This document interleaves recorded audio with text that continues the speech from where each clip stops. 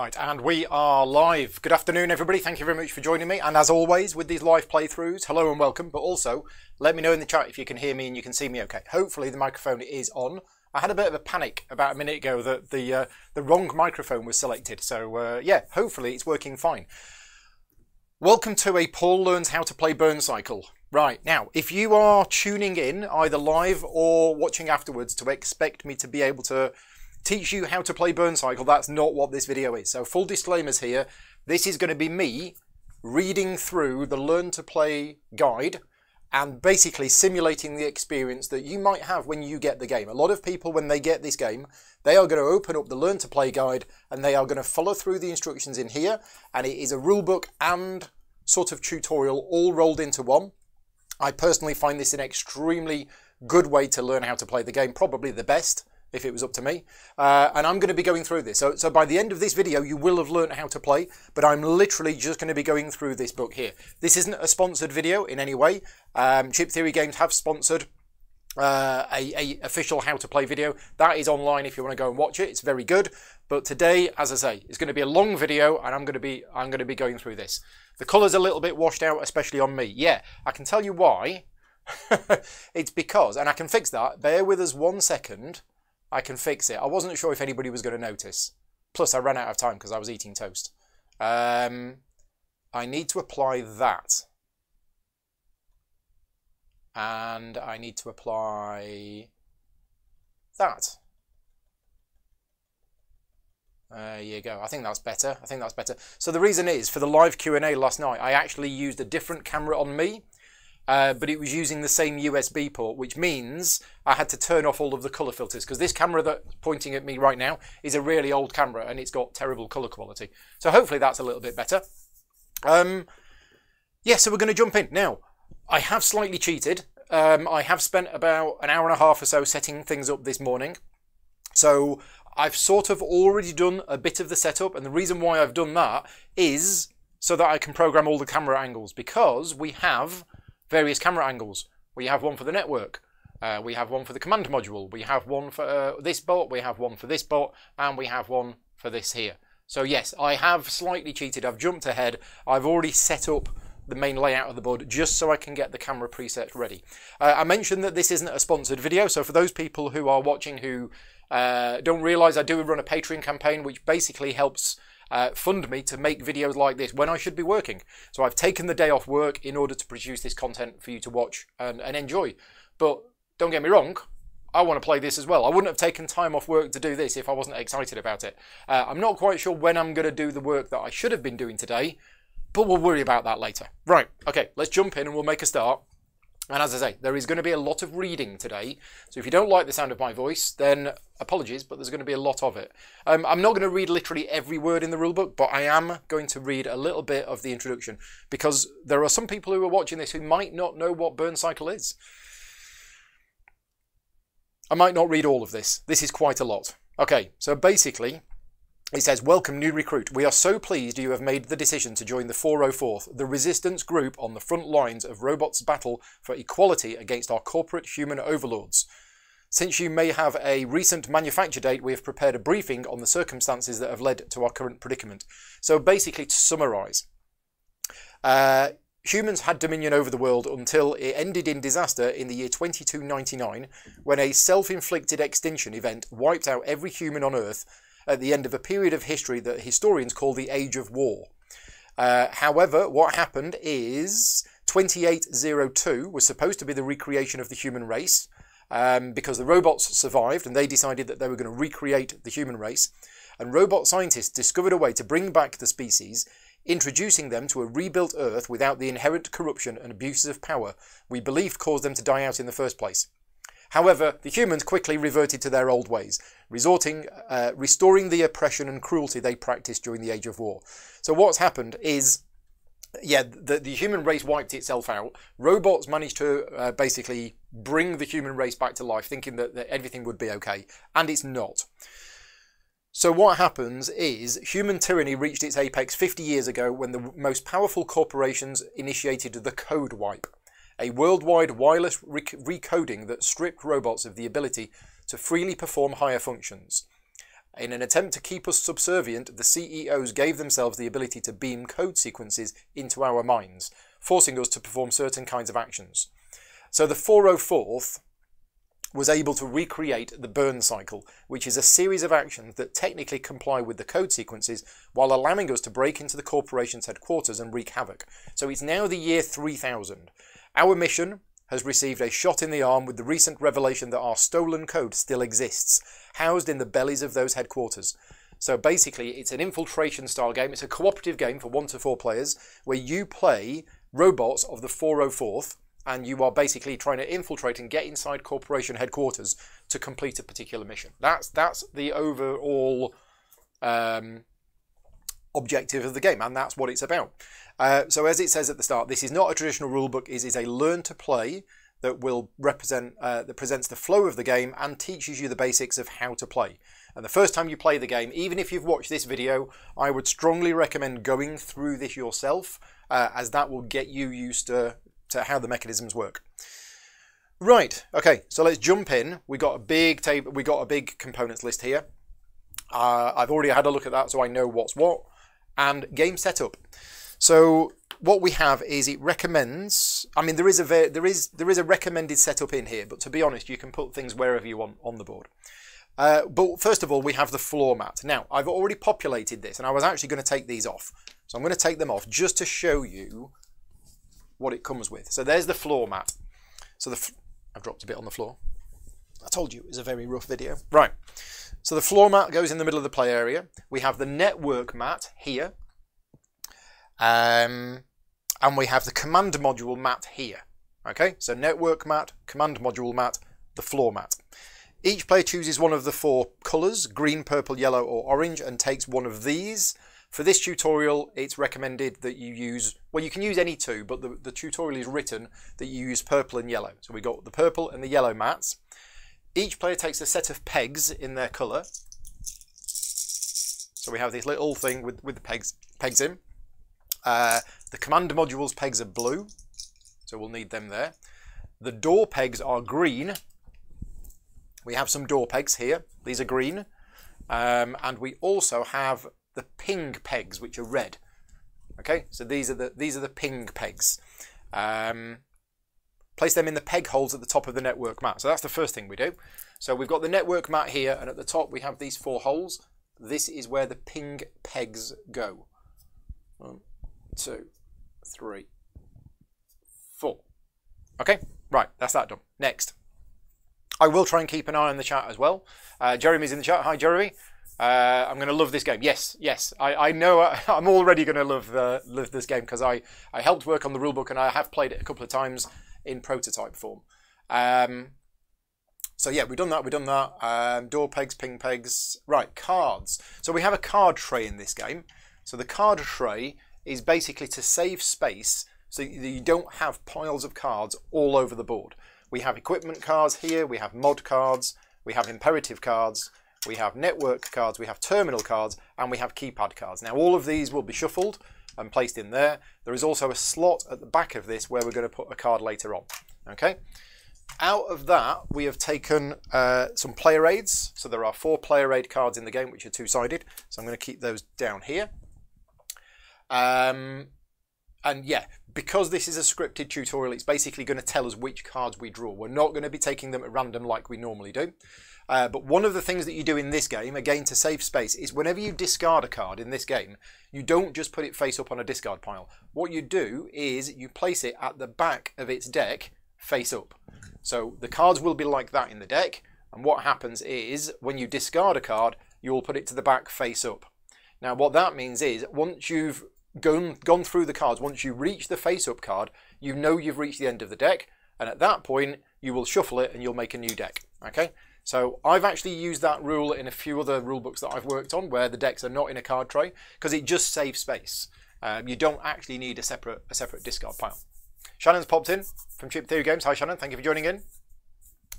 Right, where are we up to? Uh, next page. Right, chips. So I've already organised the chips, and at this point, I'm actually going to turn on uh, one of my side cameras. So I've bought a new camera. Thank you very much to all of my Patreon supporters because uh, your funding helps uh, buy new equipment for the channel. And I've recently bought a new camera, which is a which is a sideways view camera. That's quite bright, isn't it? But anyway, what we've got is we've got some chips, and I think I might zoom in a little bit more. So these are the chip trays that come with the game. There we go. Right, and this is the recommendation for how you sort out uh, the chips. So what we have is, from left to right, do it the other way around, there we go. We have the bot chips, so each bot is represented by a chip um, and an awareness chip. So each of the bots in the game has two chips associated with it. We have destroyed wall chips, which are on their own in this big tray all on their own. A little bit lonely, but that's what happens when you're a destroyed wall chip. We have the action chips, we have physical, we have utility, we have tech, we have general, uh, and the magenta one at the back is the captain's chip. We have level 1 guards here, we have level 2 guards here, we have level 3 guards here. These are shuffled, and you will normally draw from the front, but as I say, for this tutorial, it's going to tell us uh, which one to take specifically. In the back of this, we have the cache chips, which are the orange ones. We have the terminal chips, which are these greeny blue turquoisey ones. Uh, and in the back of this one, we have the captains, which are these gold ones. Uh, we have the CEOs, which are the red ones, and we have the corporation marker, that's the yellow one.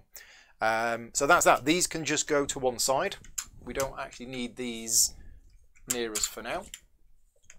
Um, right, Shuffle the guard and the captain chips. Yeah, as I say, we're not going to shuffle them. Dice and beads. Right, okay, so as well as as well as the chips, we've also got the dice trays. So it's recommended that you place the dice like this. So we have the blue, yellow, and the red ones here, which are the action dice. So all of these can go in one tray, and then all of the other dice will go in this tray. Uh, there's no need to get these out and put them around, but you will be instructed at various times in the game to basically take these out use them and roll them. And when you're not using them, you can just keep them in the dice trays.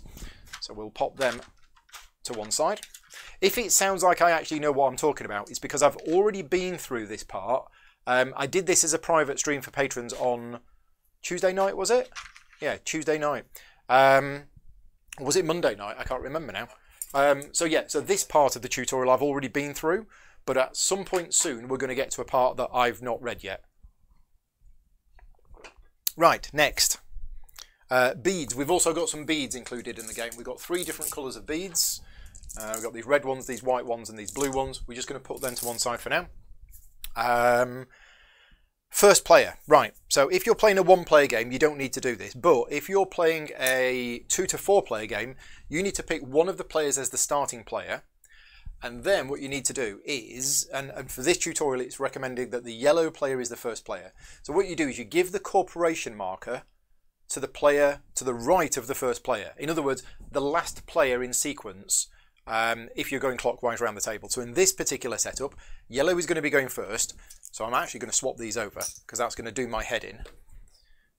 I need to go left to right because that's the way things work. So yellow is going to be the first player then purple, which means the corporation marker goes next to the purple player. That is basically a reminder that after the purple player's turn, the corporation has a turn. So all players will get one turn, followed by the corporation then getting a turn. That's, that's how that works.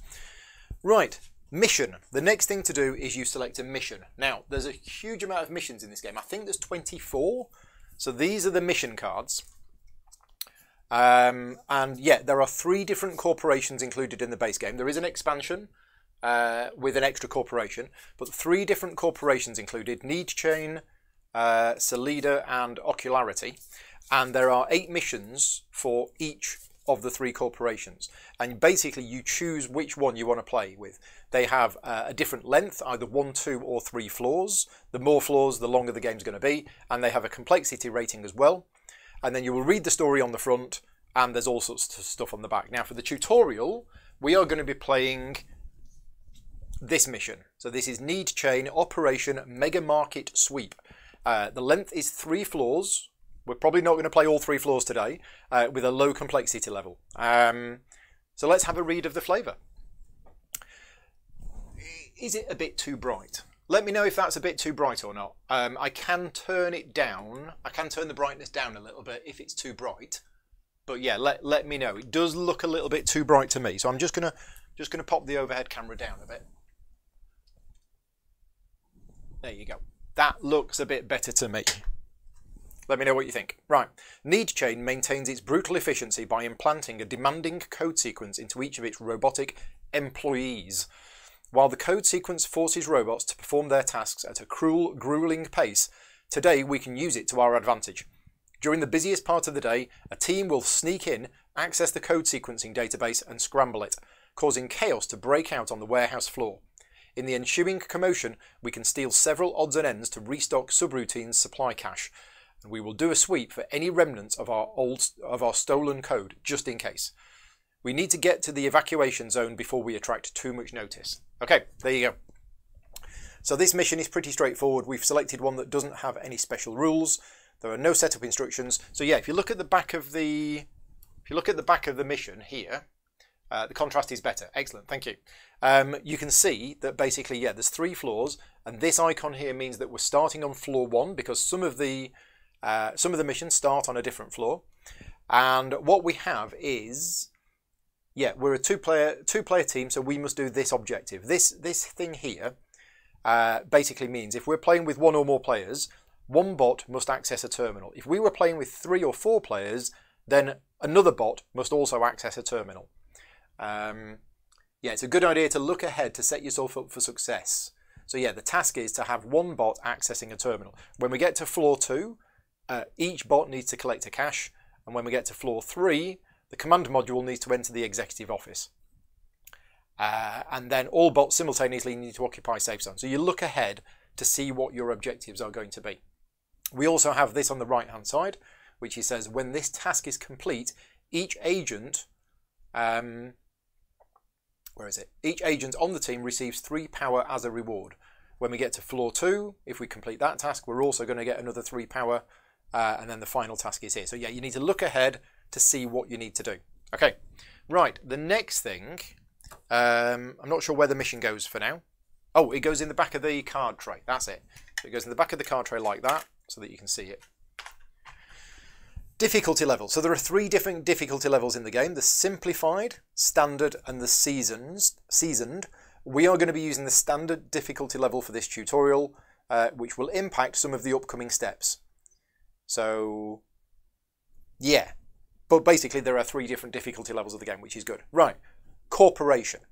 So the mission that we chose tells us which corporation we're going to be playing against. We chose the mission which means we're playing against Need Chain, So we take this. Now this is unfortunately a little bit shiny, uh, which is why it's reflecting a little bit from the overhead lights. This is darker in person, uh, but because it's got this plasticky sheen to it, it is reflecting the light a little bit. But basically what we've got is this is the threat track. Is this the threat track? It's a threat card. It's a very big card, but this is the corporation's threat card. Um, and it says place it to the left of the network mat, but it doesn't actually matter. But there are two sides. This is the simplified side, so we don't want that side. We actually want this side. This is the standard side. So if we were playing the simplified version of the game, we'd use that side. And as you can see, there's a lot less stuff on it. So that's going to go there. Um, place two of the red beads at the top of the card. Okay, so they're going to go there. Uh, one of those is going to track the current threat level, and the other bead uh, is going to track the highest event or escalation that our threat has reached so far. So basically, from what I remember of the rules, threat can go up or down, but once you've reached a particular threat level and something's happened, you need to mark that to say this has happened, which means when threat goes back down again, if it comes back up, it doesn't trigger it again. That's from what I remember of the rules. I know that kept changing a few times. So we will, um, yeah, we'll, we'll see as we read through it that that is still the same. Right, the next thing is we need to go over to the network mat and we need to find the CEO for NeedChain, which is Bo Zephyrs. Is that always the CEO for NeedChain? Let me have a look because there's three CEOs. Yeah, it is. So Bo Zephyrs is the CEO for NeedChain. So whenever you're playing against NeedChain, you want to put Bo Zephyrs here. Uh, and basically that that's the CEO. That goes at the center of the network. Like that. Right. What's next? What is next? Um, two red bees at the top of the threat card. Done that, done that, done that. Right, next page. Network. Okay, so while we're on the network, uh, place the CEO red CEO network level die set to one, which is this. So this is the red CEO's dice. That says that goes to network level one. That goes in there. Place the network level die of the first player's colour set to one in the die cut at the top right of the network. Yeah, okay, so each player has their own die. Um, so the yellow player is the first player, so that's going to go in there. And then all other players in clockwise order go into the other one. So because we're playing a two-player game today, we just fill the, the, first two slots. We don't need to fill those.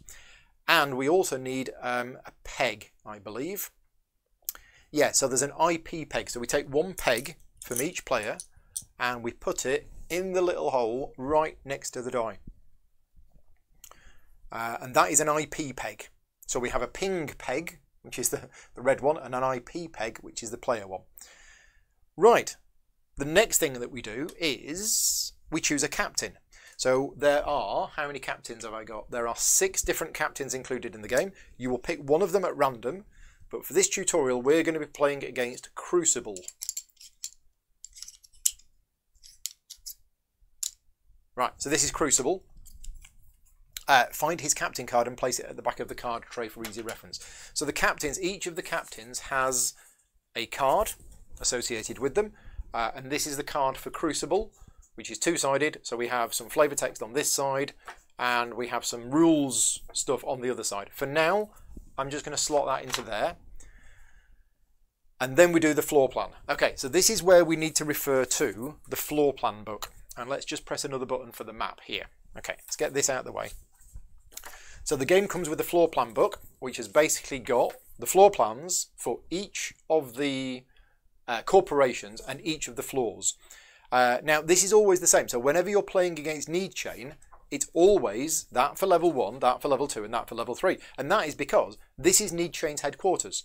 Okay, so every mission that you play against Need Chain is obvious. It's using the same building, so it's the same layout. Um, but the layout is different for the three floors. We then have Ocularity, Solida, and Biodefend is the expansion one. Um, but they've put that in this so that it's all in one place. So what we're going to be doing is we are going to be setting up floor one of Need Chain. And the reason why I took those pieces off the board earlier on is this is really cool. This is a neoprene mat, uh, and these are thin neoprene pieces. So basically you've got neoprene on neoprene, which means it doesn't slide anywhere. Um, yeah, so it's a really, really clever idea, and chip theory games are obviously famous for using neoprene. So we basically need to build the board, like so.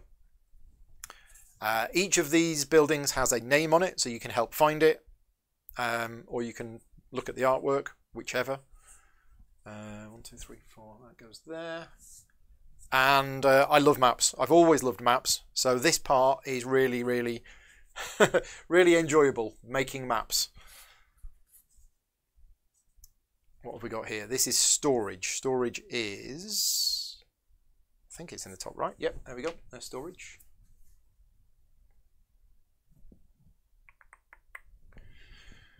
Security is over here. There you go.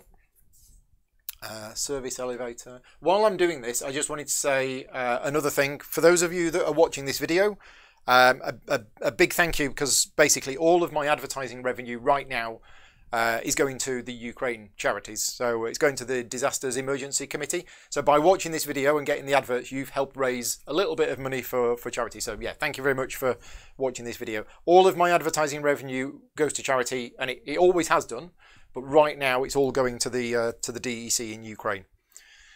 Not quite the 12 million that was raised in the in the, uh, the, the concert the other night, but um, it's still a, it's still a quite a bit of money that we're raising. So yeah, big thank you to everybody. Right. So that's that done. That's the floor plan done. The next thing to do is terminals. We need to set up terminals, caches, and surveillance beads. So basically, uh, everywhere on the map with a terminal icon, which is this, we need to place a terminal chip. The terminal chips are two-sided, uh, mainframe side on that side and terminal side on that side. So we need to place them terminal side up. and it actually tells you in the book how many there are. So seven. One, two, three, four, five, six, seven. Excellent. Right. Okay. We do exactly the same with the cache chips, which have got uh, the cache on one side and a key on the other side. So let's see if I can find these. There's one. Oh, should be cache side up. There's one. There's one. There's one. There's one. I'm counting four. And the book says six. So I've missed some. There's one, two, three, four, five. There, six. Okay, and then surveillance beads. So basically, these white beads are surveillance beads. And what you do is you put one of these in each room that shows one or more surveillance die icons in its info bar. So every room has a name, and if there's a if there's one or more die icons in the info bar, it means there might be something in there. So you need to put a surveillance uh, bead in the room to remind you to do something. So we need one in there. Even though there's two icons here, we only put one bead. Put one bead in there. But here there is no icons. There's no icons in the equipment room, so we don't need to put a bead in there. Need to put one in there. And we need to put, I'm guessing we put one in here. Yes, we put one in here as well. Okay, so they're just a reminder that when you go into those rooms, you need to surveil. I don't know if you can see them. Yeah, that's the problem with the clear beads. You might not be able to see them that well. Um, oh no, most of them are showing up, just this one. Okay, right, next. Um, terminals, caches, surveillance beads to the room. We've done that. Okay, next, hallway security. So if you look at the board, you will see that there are these icons here. We've got one, we've got two, and we've got three. This is known as hallway security. They are the hallway security posts. And the captain's card tells you for floor one, with Crucible as the captain, who seems to have lots of blades, stick, circular saws, saws sticking out of his head. That can't be comfortable. That really can't be comfortable. Um, anyway, this is where things start. So if you look here, we don't have anything on two, but on floor one we have a level one guard with a key. Uh, not floor one. On on uh, on hallway security post number one, we have a level one guard with a key. And hallway security post number three, we have a level one guard without a key. So what you would normally do is you would normally uh, draw a level one guard at random, but for this, it is fixed. We're going to put a level 1 hamster.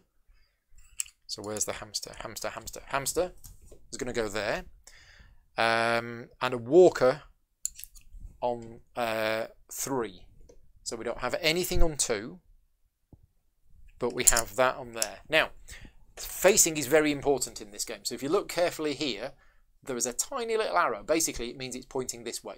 So what you do is you put that on there so that it is pointing that way. So yeah, facing is very important in this game. That's going to go on there. And remember, this one has a key. So what we're going to do is we're going to put a key underneath there like so. I'll slightly offset it just so that you can uh, just so you can see. We do have we do have the side camera uh, for when we need to see things. So you can see here it's there. It's got a it's got a key underneath it. Okay, right. What's next? That's the hallway security posts done. That card can go back over there.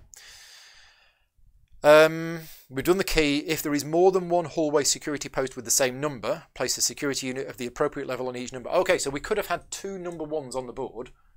Uh, and if we did have two number ones, we would put guards on each one. Right, next. Um, we've done that, we've done that, we've done that. Mandatory security posts in the rooms. Okay, so some of the rooms have, no, it's not that, it's the star. So if there's a star inside the shield, that means it is a mandatory security post. Um, and the floor plan book tells us that there is one mandatory guard. So this is really good so that you don't miss anything. So we know that there's one mandatory guard, and we've seen it, it's there. So what we do is we draw another guard, and this time you draw it equal to the level of the floor. We're on floor one, so this is another level one guard. But again, for this tutorial, it's fixed. It's going to be Bulldog. Bulldog. Now, Bulldog is actually facing that way because it's sat at the desk, presumably, and it's doing stuff. So Bulldog is going to go there. Right. Um, yeah, we're done. Right, next page. Agents. So finally, we get round to the part of the game where we get to choose which of the bots that we are. So terminology is important here. These three things are all bots. Oh, I don't know where we put the captains. The captain's chip, I think, goes back. These three things are all bots, but these two are agents. So you have agents, one of which, one per player, and you have the command module as well. So the command module is not an agent. The command module is a bot. So what we do is each player chooses a bot. Now, there are how many different bots included in the game? I think there's like eight, something. One, two, three, four, five, six, seven, eight, nine, ten. There are ten bots included in the game, okay? And each player chooses which bot they want to play. There is a recommendation for a quicker starting game that you shuffle them, pick two for per player, and then each player chooses which one they want to play between the two, because otherwise your choice could be it, would be overwhelming looking at all of these. Um, for the tutorial, the yellow player is going to be playing Byte. Okay, and the purple player is going to be playing Access. So we need those out. Uh, and then as a team, you choose one of the remaining ones, or again, if you want to shuffle, pick two at random and choose one, to represent the command module. And for this tutorial, we're going to be playing with bit as the command module. So these cards here, let me just show you the command module. These cards are two-sided. You will use that side of the card if it's an agent, or you will use that side of the card if it's a command module. So this is the command module, and what happens is it basically slots into there. Um, and what happens is because this is a neoprene mat, once you've slotted it in position, it doesn't really move. So yeah, I missed placing the little entrance tile above security. Okay, thank you. I missed a bit. Entrance tile above security. Where did I miss? Where did I miss? Entrance tile above security. Nine. Entrance tile. Oh, I missed that. Right, okay. I need to find that. So yes, there is another tile which I haven't put on the board. Oh, it's that one. Thank you very much for spotting it. So there's an entrance tile which goes there. Okay. Now you can still get in here, can't you? Presumably you can still get in here as well as there. So there's a security entrance here and there's an entrance here. Okay, so yeah, there's this little entrance tile that I missed. There you go. Thank you very much for spotting that. Right, where are we? Um, ba -ba -ba yeah, command module, so we've done that. Um, yeah, each player places their chosen bot card. So, right, so we've got, this is, this is going to be the yellow one. So we're going to take that out of the way. So what we're going to do is we're going to slide this underneath here. Like so. And then we're going to slide this one underneath here. So these are our two agents for this particular mission. Um, right, let's go back to yellow take the matching bot chip and awareness chip for the command. Uh, oh no, hang on. Um, take the bot chip and awareness chip, matching your agent, and place them near your mat. Right. So we need to go through the mats, and this is the bot chip and the awareness chip for for byte. So I'll just put them there for now. And then we also need to do the same for access. So this is access's chip and access's uh, awareness chip. And for the command module, we need um, bit. So this is bits, uh, bits chip, bot chip, bits bot chip, and bits awareness chip. Right, okay. Terminology. Uh, some of the agents might have special dice or other stuff, but these these don't have them. Right. Okay. So for the command module, back to the command module. Place a peg in the hole above each burn cycle slot that lines up with the green icon on the command module's card. So basically we have five potential slots in the burn cycle, which is here, and two of them start off open. So what we do is we take these pegs here, that one in there, and that one in there. The more of these you have open, the better. Um, so that's that. Use a peg to set the command module's current power to match its starting power level. So command module starting power level is 6, so we're going to put a little peg in there on number 6. Uh, did I need to do the same for the agents? No. No, I don't think I needed to do the same for the agents. So we've done that, we've done that, we've done that. Right, okay, next. The reserve allotment. So the reserve allotment is basically, uh, let, let's have a look at bytes. So all agents start off with at least one chip in their what's called a reserve allotment. I remember finding the right term for this was quite tricky. But based on the number of players in the game, you might have extra. So if you were playing a solo game and you were just playing one agent, you would actually start off with all of these three. So you would put pegs in each of these and you would start off with everything unlocked. In a two-player game, you get one of them of your choice, which for byte doesn't matter because they're all the same. Uh, and in a three and four player game, you don't get any additional ones. Okay, so what we do, and it says you don't take the chips yet because we're going to be doing that later on. But since this is a two player game, both Access and Byte get to choose one of these three things uh, to have. So obviously it doesn't matter for Byte because they're all blue, but for Access, the tutorial is telling us that we want one of the green ones, um, which is a tech chip. So green is tech. Okay, right. Next.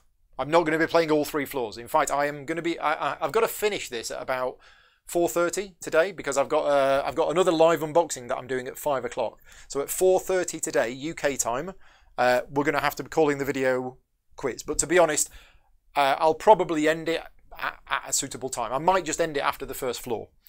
Uh, yeah, we'll see how we get on. Okay, routing power is the next thing to do. So all agents start with 10 power in their power bank. So we take a peg and we put it in the number 10 spot. It goes on there. Uh, and now players may simultaneously route or spend power to gain upgrades until they are at or below their power bank limit. So basically the way this works is at the start of the game, if you have a look, uh, Byte currently has 10 power but has a power limit of 4. So before the game even starts, Byte needs to spend 6 power to basically buy upgrades. Access is slightly different. Access has a power limit of 8, so Access only needs to spend 2 power. Now you can spend more power um, if you if you want to, but you've got to spend some because otherwise you lose it. And basically what this means is you get to do character upgrades before the game even starts. Now, when you first play the game, you won't have the faintest idea. Okay, so this tutorial is actually suggesting which ones we should go with, but it is very, is very cool in the way that you get to customize your character before the game starts. But as I say, when you're learning the game and you really haven't got the faintest idea what to do, my advice is don't agonize about the decision. Just make a decision, don't worry too much about it, play your first game. If it all goes wrong, make a different decision next time. Um, for me, anyway, the first few times I play a game is always really a learning game. If you're one of those people that wants to be ultra competitive from game one, that's absolutely fine. But you've got to be aware that you might end up spending 20 minutes making a decision when you don't actually fully understand the implications, implications, implications of that decision. So, personal advice: make a decision, get on, play fast, and then put it away and start again. Anyway, right. So, what it's suggesting for this setup is Byte is going to spend two power and it's going to gain the silent entry ability. So each of the agents has three special abilities that you can unlock. Silent en entry is going to cost two, keen eye is going to cost two, and distortion cloak is going to cost three. Uh, and it's recommending that we go for silent entry. So we've routed two power, and we've got that. Also, going to route another two power to buy an advanced die. So each advanced die costs two power. So what we do is we're going to put a little peg in there. This, by the way, here is a maximum limit. So Byte cannot have more than two advanced dice and no more than four elite dice. So these, these here are a limit. Um, okay, so we've done that. Now, also, the team wants to unlock this third burn cycle slot. Now, to do that is going to require spending three power, which is spent collectively between the agents involved in the mission. So the tutorial is saying that uh, Byte spends 2 power. So Byte is going to spend another 2 power down to 4. Uh, and Access is going to spend 1 power. And what that does is that unlocks this third burn cycle slot here. Okay. Um, right, now over to Access. Access is going to spend two power to buy an advanced die. And that is it. So Access has a power limit of 8 and is currently down to 7, whereas Byte has got a power limit of 4 and is currently on 4. As I said, you could spend more if you wanted to, but that's what the tutorial is telling us to do. Yeah. Implement, is now a, is now a word. Absolutely. I do just make up random words. Okay, burn cycle. We now need to create the burn cycle itself, which is what the game's about. Um, or what the game's called anyway. And way we the way we do that is with the drawbag of ultimate power. That's what mine's called anyway. Um, and what you do is you take the captain's chip, which is this one, and you take a number, a number, oh, don't know what's up with me today with my words, lack of sleep. You take a number of generic chips to make the total up to the number of burn cycle slots. So we have three burn cycle slots. So you always want one captain's chip, and then you want two generic chips because we've got three. If we didn't unlock that, we would basically have one of each. But because we've unlocked that, we get a total of three. You put these in the bag, you shuffle them, and then you lay them out here at random. For the tutorial, we're going to do that. Okay, now these chips are two-sided. Make sure you don't use the degraded side when you set it up. Right. And we need a red bead to act as the burn cycle tracker. I can put that down there for now.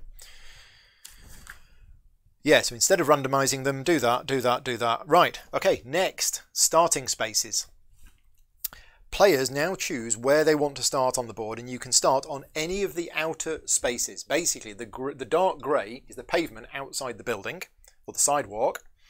Um, and players place their agent chip on the outdoor space of their choice, one bot per space and then as a team you decide where the command module is going. Now for this particular tutorial it is suggesting that access goes up here.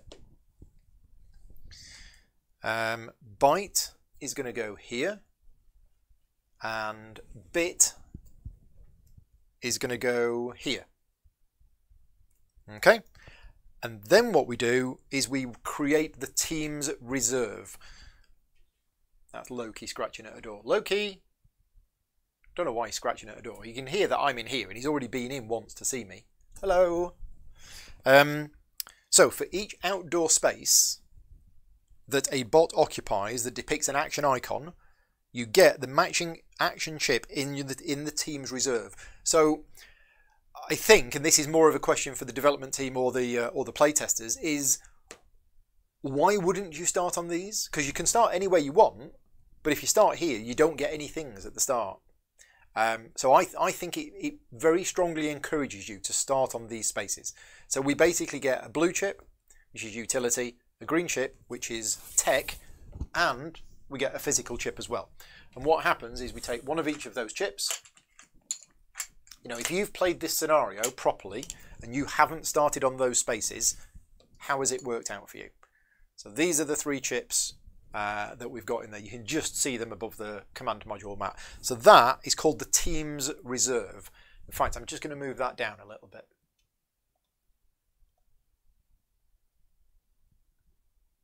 There we go. Okay, so that's the Teams Reserve. Um, and it does say in some missions, the bots actually start in a room instead of outside. In this case, you will place chips into the Teams Reserve based on the icons in the info bar of the room. Okay, right. Now we do agent reserves. So at this point, each each of our agents has its own reserves, which is basically equal to what's shown on here. So Byte is going to start with a physical and a utility. Now, where do these go? Here. Okay, so physical and utility. And Access is going to get a physical and a tech. Physical and tech. Not physical and tech, utility and tech. Colours are important, Paul. Right. Uh, access does the same with the utility and tech that she is allotted. Right, okay, got it. Um, the final bit of setup is each agent gets an imperative card. So as I mentioned, you would normally shuffle these and you would deal each one, uh, you did one to each agent. But for this particular tutorial mission, it is fixed. Uh, so byte gets remote jammer, which goes here. Um, and access has got troll sequence, which goes there. Okay, setup is complete. So that is it. That is the end of setup. Am I going to play through the whole mission or just the written tutorial in the book? I, am going to read through this book as much as I can until I have to disappear at 4.30. So yeah, we'll, we'll get through as much as we can today. If I finish before then, we finish before then. But, but my plan today is just to go through this book for now. Um, and yeah, we'll see how we get on. Right, off we go then. There's going to be lots of reading from now on. That's the bit that I did the other night. Uh, but I wanted to go through that again just to show you what it's going to be like when you get this game. Because, yeah, if you follow through this process, then that's what you're going to do. And I would strongly recommend it. I do know a few people that go, oh no, I'm a serious gamer. I don't need no stinking tutorials. I'm just going to jump into the main game. And that's fine. If they want to do that and sit there for 12 hours struggling with learning the game, that's fine. For me, Learn to play booklets, absolutely brilliant. This, this for me, as I say, is absolutely the best way of learning a game. Right, burn cycle basics. Are we ready? Are we all sitting comfortably? Because yeah, there's going to be a lot of reading. Plan ahead. In any, as in any heist, successfully overthrowing a corporation in Burn Cycle requires careful planning. Before starting the game, it is recommended that players familiarise themselves with the following in order to properly prepare for the task ahead. The mission card, and its objectives. So this, we need to know what it is that we're actually trying to do.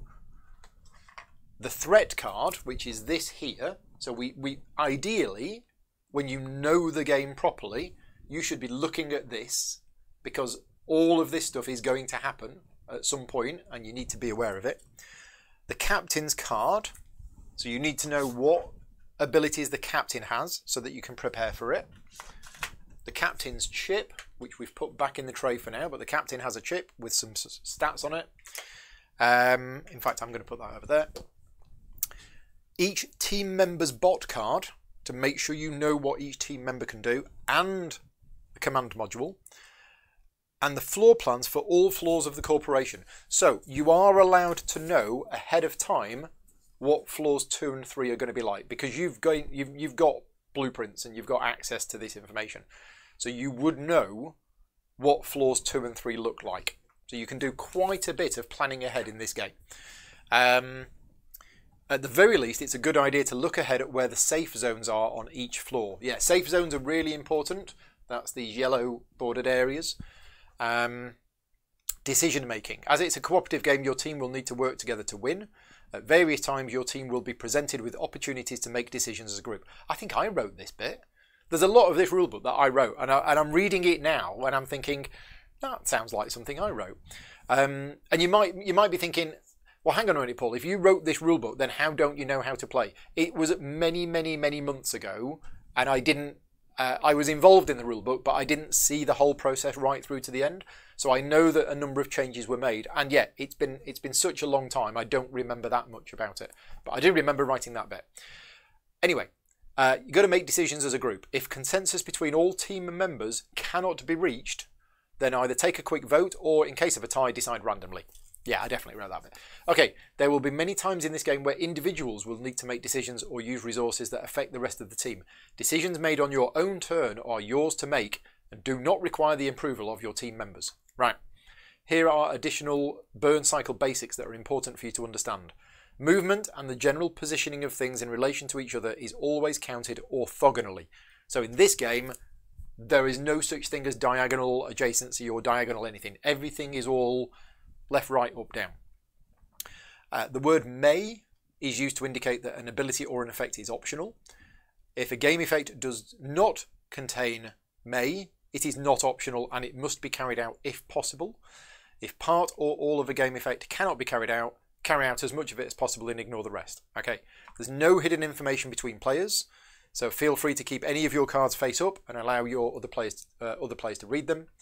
And if a card text conflicts with the game rules, the card text takes precedence. Right, okay, got it. Next up, introducing the units. There are several types of units in the game and you will need to understand the difference between them to follow these rules. So your team consists of bots. There are two types of bots, agents and the command module. Agents are the bots that the players have control over, specifically not the command module.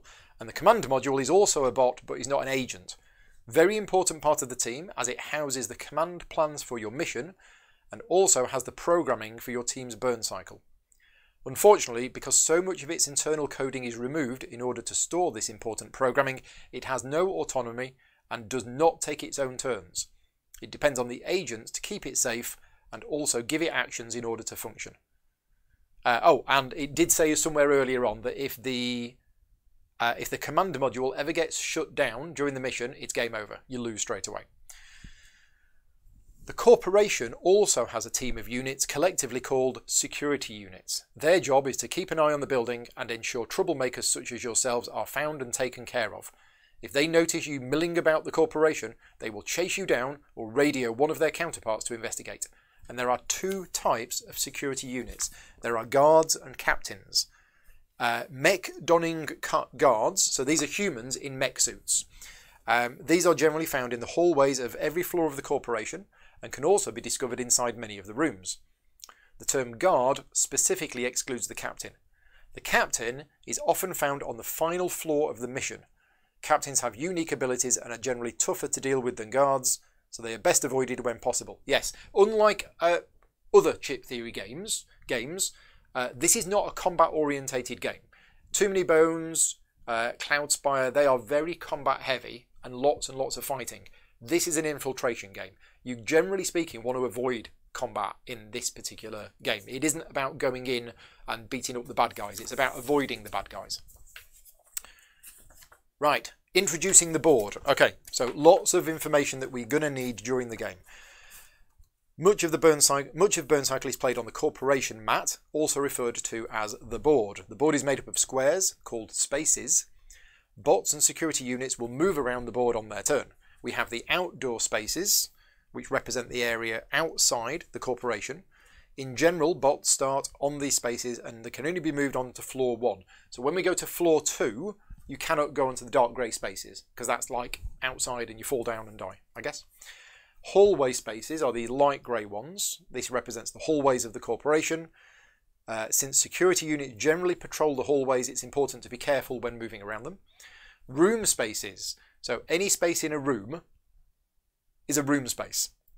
Rooms are enclosed by walls, separating them from the hallways and other rooms, and rooms can contain caches, terminals, and or security units bots will often need to enter specific rooms to complete their mission. Let me just remind ourselves what the mission is.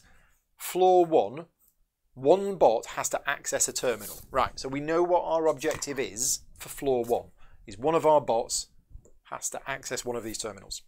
Right, safe zones, outlined in yellow. The spaces that bots must end their turn on in order to finish a floor and move to the next after finishing their objective. So we need to finish the objective and then all bots must get to a safe, a safe zone. Safe zones are generally safer than other areas because security units never see bots go through safe zone doors. Okay. Hiding spots. Let's have a look at the map actually.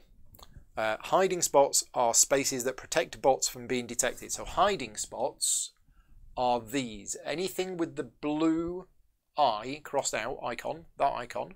So these two here are hiding spots. There's a hiding spot. In fact, there's quite a few. Yeah, there's lots of hiding spots there. Okay, can't hide in the toilet. Um, as long as a bot stays on a hiding spot, security will not be aware of them. Okay, next we have doors. So these triple red arrows, these are doors. Doors are all considered locked by default and bots must unlock them to move through them.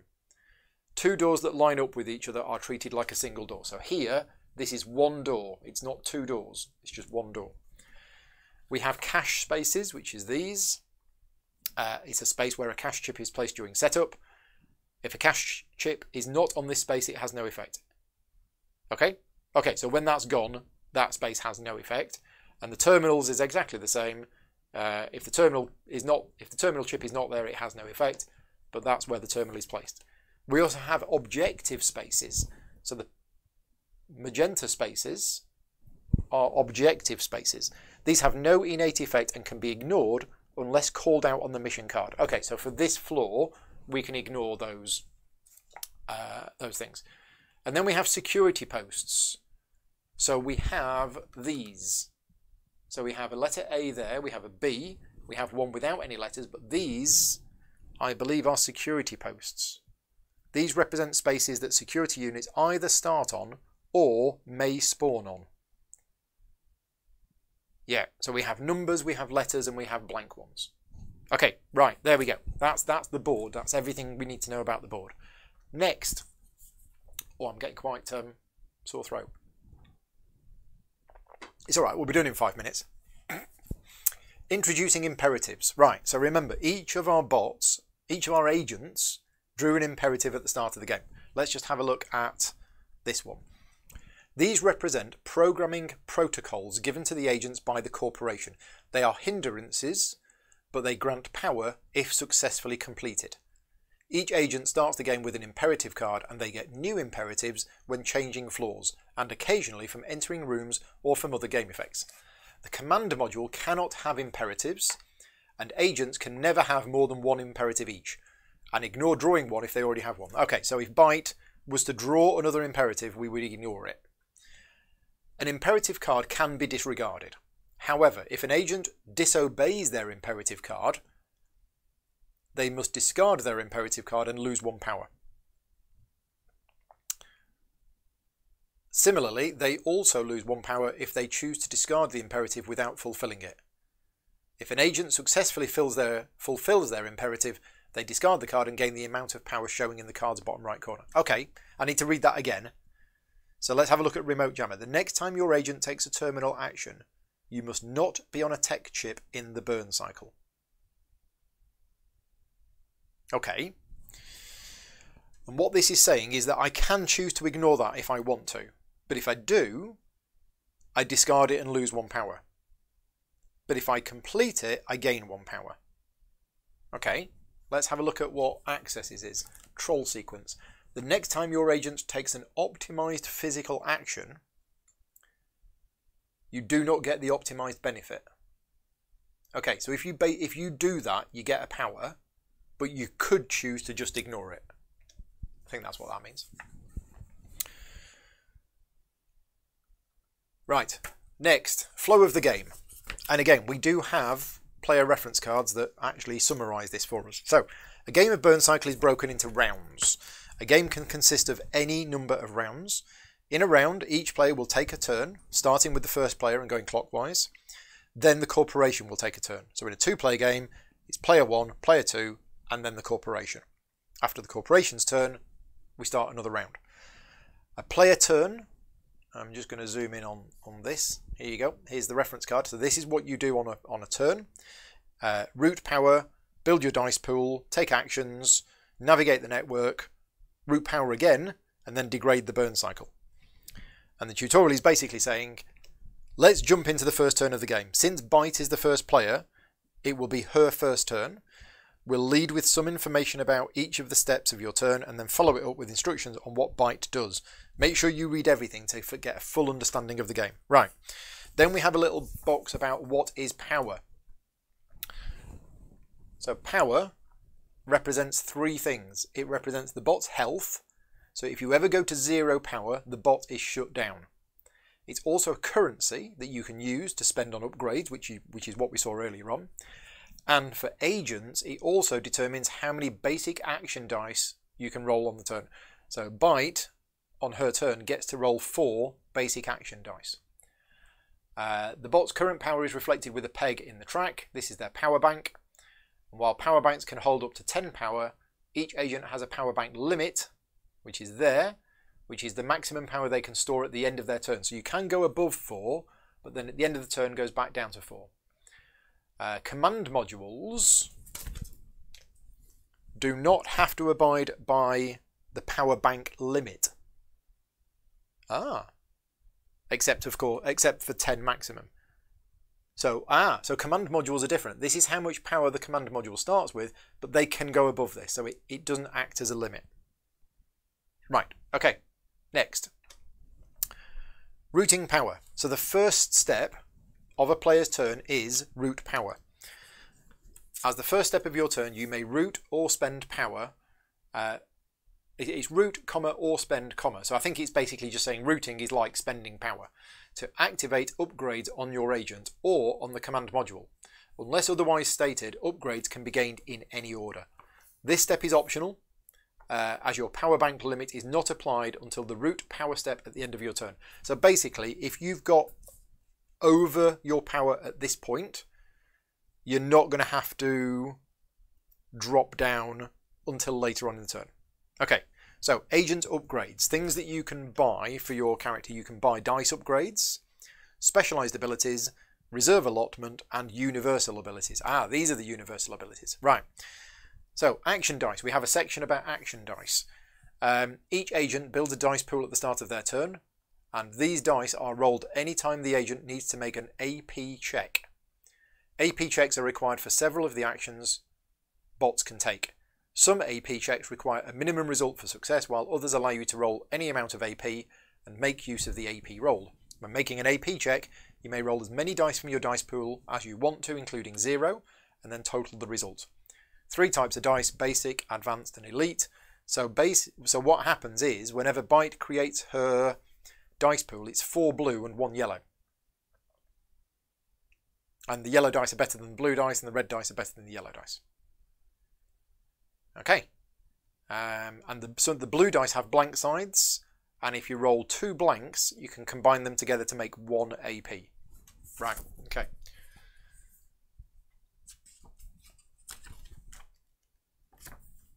Oh, and there's some re-rolls as well. The elite dice have re-rolls on them. So, you can route power to gain more reliable and effective dice that will be available on your turn. Advanced dice cost 2 power, elite dice cost 4 power, or 2 power and an advanced dice. So you can upgrade an advanced to an elite for 2 power. Okay? Uh, I mentioned that these are your limits, yep. Then we have agent abilities. Each agent has a unique innate oh you've got a unique innate ability so we have an, an innate ability at the start of the game um, and then you've got specialized abilities which you can activate in order to use. It costs you a certain amount of power you put the peg in there. Okay? We also have a reserve. Agents have their own reserve set of action chips that can only be used by them. But remember we also have the team's reserve which is these three here. Uh, reserves consist of physical, tech and or utility chips that can be used in a couple of ways. One, altering the burn cycle. So if you want to alter the burn cycle, you must have a reserve chip to place in the burn cycle to alter it. More details later. And resolving input on keypads. Now I'm assuming we'll get to that later on, but many keypads have physical, tech and or utility inputs and you can discard matching chips from your reserve or the team's reserve to meet those requirements. More details later. Uh, and yeah, each agent has a reserve allotment at the bottom. And basically, the more pegs you put in here, the more chips you're going to get. Um, and this is what we started with, but there is, a, I think, whenever you reboot the burn cycle, I think you refill back to this. We'll get to that later on. We also have three universal abilities. These are the same for all bots, which you can buy these upgrades for one energy each which allows you to um, swap spaces with other bots by moving into their space, because normally you can't do that. Push, you can spend one action point um, to push a bot out of the way, and then another action point to move onto their space. Uh, and repair. So you with with this, you can transfer some of your power to another bot. The command module upgrades, these can be activated during the route power steps of any player's turn, and the power routed to them can come from any bot or combination of bots. So there are universal abilities, so it's the same three universal abilities here. Um, there are burn cycle slots, which we've seen you can upgrade, and I think that's it. Yeah. So what is the burn cycle? The corporation has stolen the bot's higher functions in their attempt to repress them. The burn cycle is the bot's solution to this a strategic coding protocol which allows the bots to get around this and even increase their effectiveness through action type synchronicity. There you go. I'm sure it'll be explained later on. Uh, but the burn cycle is a crucial part of the game as it is used for taking actions in the physical world and for navigating the network. Each chip in the burn cycle grants the agents an action on their turn. Agents will work through the burn cycle from left to right, uh, taking actions or passing for each chip. Special action chips, so these are generic ones, but if it was a special one, then it grants you a benefit if the action type taken matches the chip it is taken on. Meanwhile, the corporation's captain will also affect the code of your burn cycle, and the bots will have to deal with negative ramifications whenever the captain's chip comes up. Each burn cycle chip also grants movement on the network, with special action chips allowing for more dynamic movement than general chips. At the end of each player's turn, one of the chips in the burn cycle will degrade, leaving the next player with one fewer action. To combat this, agents can alter the burn cycle, replacing action chips in the code with fresh ones to keep going as long as possible without rebooting, or the burn cycle can be rebooted before the start of any player's turn, resetting it but this causes threat to advance and also the burn cycle to a, returns to a more basic state. Right, okay, lots of information. Whew. Burn cycle slots. My cup of tea's gone cold. Ugh. The burn cycle starts with only some of its slots activated. The team must upgrade the burn cycle if they want to activate additional slots. Burn cycle slots must be activated from left to right, so you cannot you cannot activate that one until you've activated this one. After spending the power outlined on the command module's card for the slot, you put a peg in the hole and you place a general action chip on the slot. Remember, this power can come from a combination of bots. All of these upgrade options are enticing, but remember a bot's power also acts as its health and influences its dice pool. You'll need to find the balance between getting worthwhile upgrades and keeping enough power in the bank. It's a resource management game with power being the most important resource. On the flip side, you should also remember that any power gained above 10 is lost, so don't keep too much of it or you may end up with wasted power. Right, so for the tutorial it says Byte is taking the first turn and Byte has the chance now to route power. However, the first route power step of the game is seldom used because agents uh, had the chance to route power during setup. But here, if you'd forgotten to route power during setup, excuse me, now now's the time you can do it. Okay, next, what is a dice pool? We've already introduced to you the concept of action dice. Your dice pool contains all the action, oh, wrong view, uh, contains all the action dice available to you on your turn. You build it by looking at your power bank and dice upgrades. You'll get one basic action die for each power in your power bank, and you'll gain elite, uh, advanced and elite action dice based on how many upgrades you've activated. Once dice are rolled on your turn, they are used and returned to the supply, regardless of whether they are needed for the AP check. The exception to this is blanks. These are returned to your dice pool and are available to gain on a future action unless you combine two blanks to use. Right, okay. So once you use your once you roll your dice, they're gone. Right. Rationing out your action dice for your actions during your turn is an important part of the game. Don't worry about being too sparing with your action dice, though, though any left at the end of your turn are wasted and you'll rebuild your dice pool. Right, okay, so step two, build your dice pool. For each power in your power bank, add basic action dice to your dice pool. So, let's do it. Byte gets four basic action dice and one advanced action dice. Done. Uh, we'd like to line our dice up above our agent mats, but you can place your dice anywhere as long as it doesn't get mixed up with other dice around the table. Yeah, I think I'm just going to pop it... Well, I could put it below. I could absolutely put it below. Because you can still see it, can't you? Yeah, so four blue and one yellow. There we go. Right, Byte has four power in her power bank, so she gets four basic action dice and another... Yeah, okay, got it. Next, Step three, take actions. Actions are managed through the burn cycle. This. Um, each active action chip gives the opportunity to take an action. But if it was degraded, you would skip it. So a degraded action chip is not active and it is skipped. Okay, so the flow of the action step is place the burn cycle tracker under the leftmost active action chip in the burn cycle. I might just put it on. No, I'm going to put it below because it says below. Right, so that goes there. Let's, let's just zoom in on this. So place, place the burn cycle tracker under the leftmost active action chip in the burn cycle. If that chip is the captain action chip, carry out the text in the burn cycle action section of the captain's card. Right, we're not there yet. Step three, take an action or pass. Then move the burn cycle tracker to the next active action chip and repeat, resolving the captain action chip if it comes up, and then taking an action or passing. Continue until you have either taken an action or passed for each active chip. And at the end of your action step, return any unused action dice you have to the supply. You will not need them for the remainder of your turn and you will build a new dice pool on your turn. Right. Important. You can take any available action on any active action chip. However, there are three special action types in this game, physical, tech and utility, and chips of these types will gradually end up in your burn cycle. If you take an action of the type that matches the chip you took an action on, the action is optimized. Optimizing an action grants you a benefit or makes it easier to succeed. Right, so tutorial. There are several action options in this game and out of context their details can seem a little daunting at first. Yeah, you're not kidding. But worry not, this tutorial will take you through examples of each of them.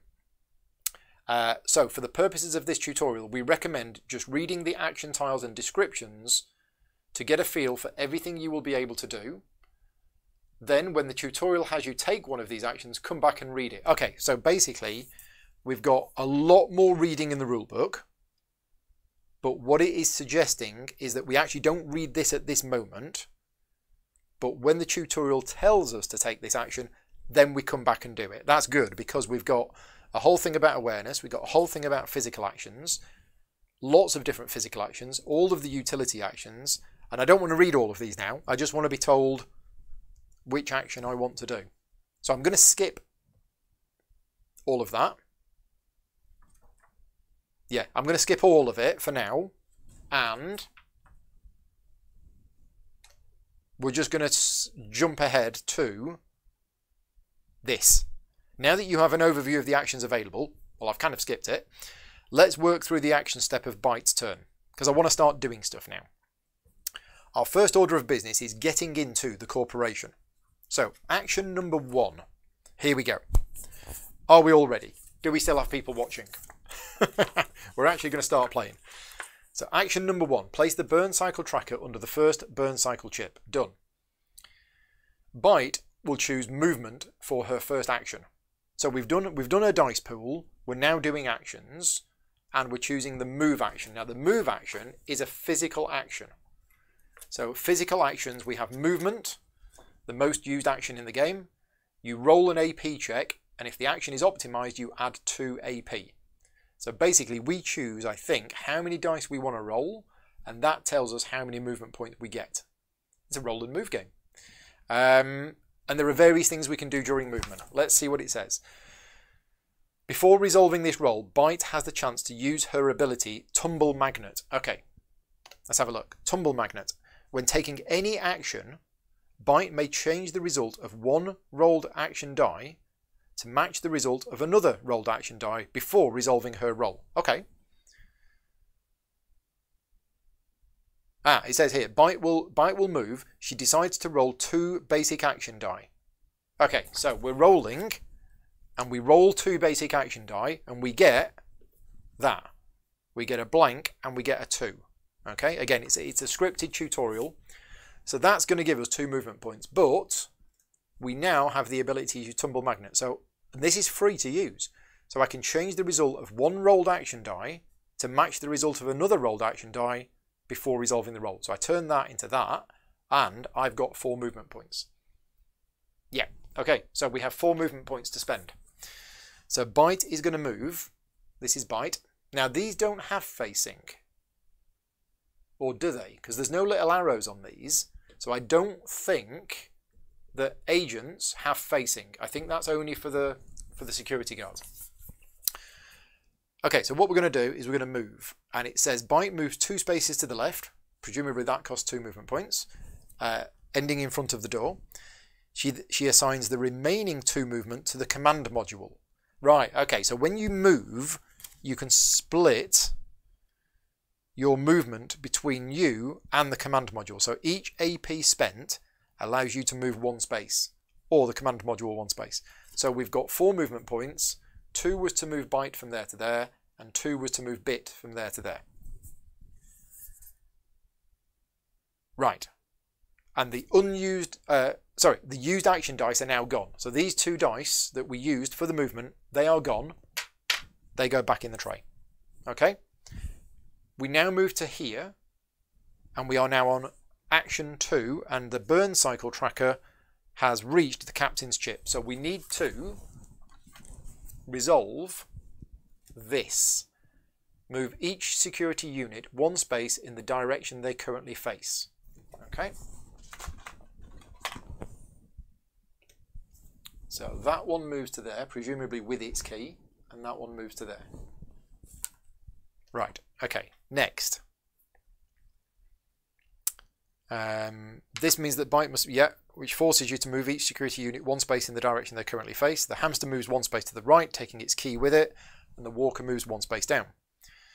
Room guards would also move from this effect, but the bulldog is facing the wall. So it, it, it doesn't move because it would move that way. Right, got it. So whenever that captain's effect happens, you move every security unit on the board. Byte can now proceed with her action. So after you've done that, you still get to do an action when it's the captain's chip. Um, and Byte is going to take the keypad action. So the keypad action is another type of action. All of the actions, by the way, are summarized uh, here. These are all of the different types of actions that you can do.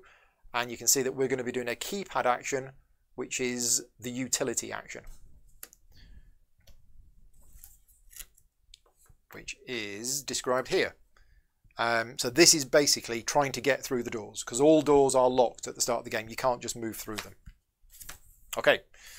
So what happens is uh, she takes a keypad action on the door she's adjacent to and draws the following card. Okay, so whenever you do a keypad action, you basically draw uh, the next keypad card. And let's zoom in on this. But for this tutorial, it is telling us which one we need to use. I'm just going to get it. It's not that one. Is it that one? That's the one. Right, so that is the keypad card that we've drawn. Yeah, no facing on the bolts. Thank you, Dan. Uh, keypad cards go there. Right. So this is the keypad card. We are on floor one, so we are looking at the leftmost column. Um, and Byte must resolve the first, yeah, the first column. She cannot choose to use brute force because it is jammed. So if it says jam below it, you cannot use brute force because there's two ways to get through a door. You can either use brute force to bash through, or you can try and hack into it. And because it says jam, it means we can't use brute force. So she decides to resolve its input, which is a physical input. Yep, physical input at the top. There are two ways a physical input can be resolved, aside from bypassing with an optimized action. The first is to move the burn cycle tracker to a physical action chip in the burn cycle that's in any burn cycle slot to the right of the current position. Okay, so what it's saying is, if there was a physical action chip somewhere in here, we could basically skip ahead to that chip if it was a physical chip. So if that was there, we could skip ahead to here and that counts and that gets us in. But we don't have that, but we do have a physical chip here. And this is the other way of getting in. The other option which Byte takes is to discard a physical reserve chip. So she discards this. That's gone. That goes back in the tray. Um, having successfully unlocked the door, she discards the keypad card. Got rid of that. Um, and places a door peg into here. So that means that door is now unlocked. And when you unlock a door, you get a free move into the lobby. So Byte is now moving into the lobby. Because the room hasn't been surveilled, because it has this bead on it, uh, you remove the surveillance bead, and then we roll one of the white surveillance dice. Okay, so this is the white surveillance dice. Um, and we've rolled, and it's landed on... It's landed on a guard. Oh no! Because this is floor one, it's a level one guard. So we draw a random level one guard from the tray, and it is hamster, not random, tutorial, telling me it's hamster. And we place it in the room's security post here, facing the wall.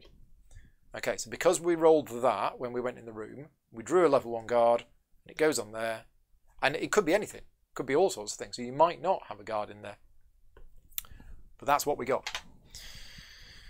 With a new guard in play, Byte must immediately check its awareness. Now, awareness we haven't covered yet. Um, so let's let's go back to the section on awareness. Oh, brute force is a, a trying every possible combination. It's not bashing it in. Thank you very much, Michael. Yeah, you're probably right on that. Um, so there's a section on awareness that we did skip over, but it is very important. It's a massive part of the game. So, awareness. Let's just read awareness. Um, awareness is an overarching concept that must be monitored throughout the player's and the corporation's turn. It's basically think it's permanently in effect for the whole game. Security units have an awareness range shown on their chips. So it's the number on the right hand side. So it's 6 for Hamster, 2 for Walker, they're not very aware. Um, and it's based on its facing. Security units are aware of the spaces in their area that are directly in front of them up to their awareness range. Additionally, security units have a peripheral awareness, which is half of their awareness range. This is how many spaces away the security unit is aware for any space in its area not directly in front of it. So basically, um, yeah, Walker has a 2 awareness, but only for the spaces directly in front of it. Everywhere else, it's half that, it's 1. So Walker can see here, but not here. Hamster has got a 6 range, so can see 6 straight ahead, but 3 in any other direction. So one, two, three, uh, you know, and behind it as well.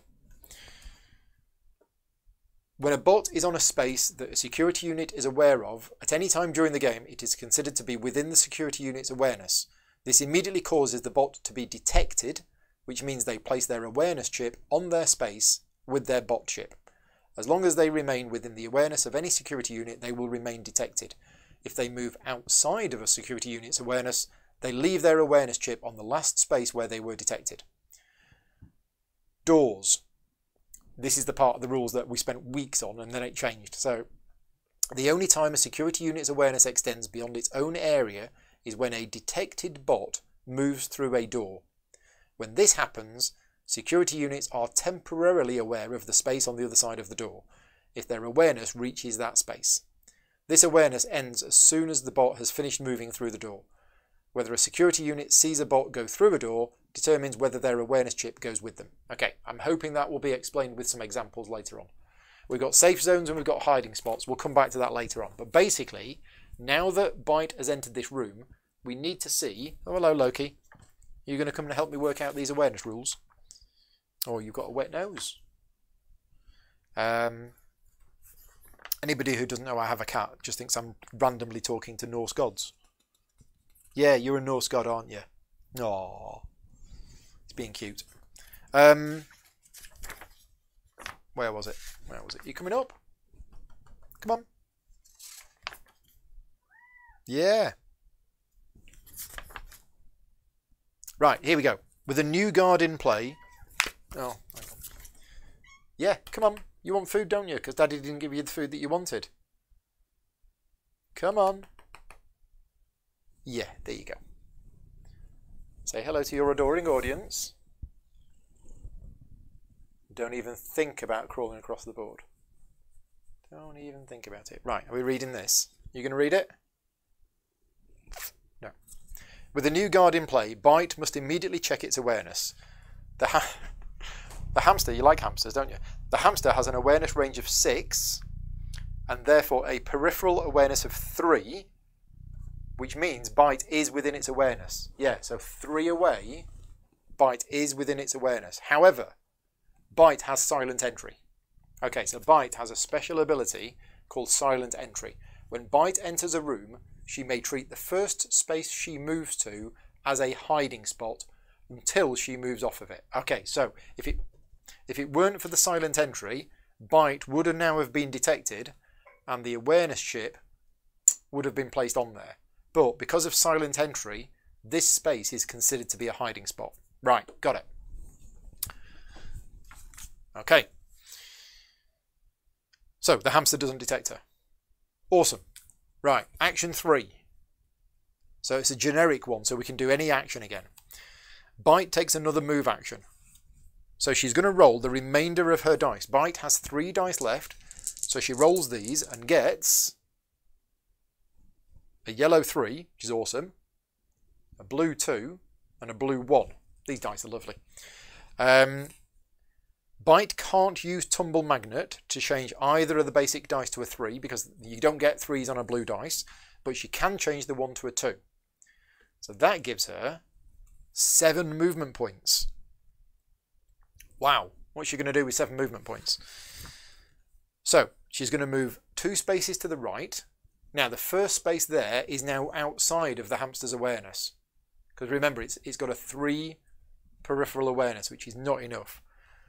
So one to there, another one to there, and another one to there. So again, still maintaining outside of the awareness. Um, this would be awesome as a computer game or some kind of um, augmented reality so that you could actually see glowing areas. Um, yeah, so two spaces to the right, one space up. Oh no, two spaces up. Ah, now, that would be within the awareness range, but this is a hiding spot. So, yeah, the terminal space falls under the hamster's awareness, but is also a hiding spot. And since Byte entered the hiding spot whilst undetected, she remains undetected. So this is interesting. If you were detected, I mean, if you think about it thematically, it makes sense. If you move from a detected space into a hiding space, the security unit literally sees you going in there. But because she was undetected when she moved in there, she remains undetected. Right. Okay. So that's four movement points used. She has three movement points left, which she's going to assign to the command module. So a bit goes one space to the left, and then one space into the lobby, because the door is now open. However, bit is now detected by the hamster. So what happens is we place bit's awareness chip on there. Bit has now been detected. Okay, using the last remaining AP, bit will move one more space to the right. Uh, since this space is outside of the hamster's awareness, the awareness chip stays there. Right, so this is the clever part of the game. Well, one of the clever parts of the game is this is the space, this awareness chip represents the last space where the security guards knew that Bit was. They don't know that Bit has gone here because this is outside of their awareness range. There we go.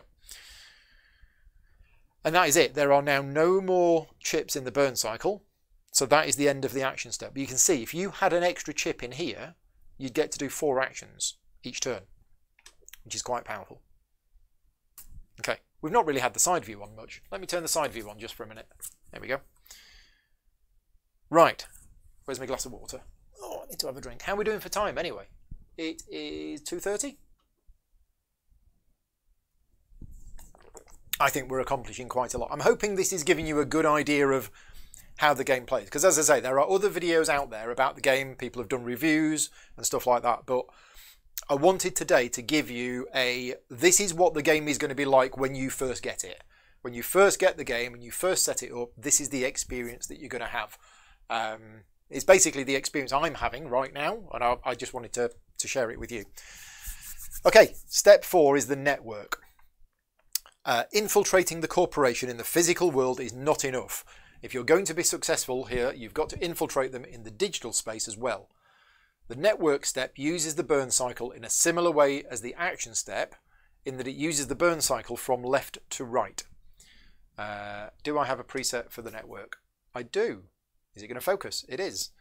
Um, so each chip in the burn cycle grants movement on the network with the burn cycle chip dictating which node you can move to.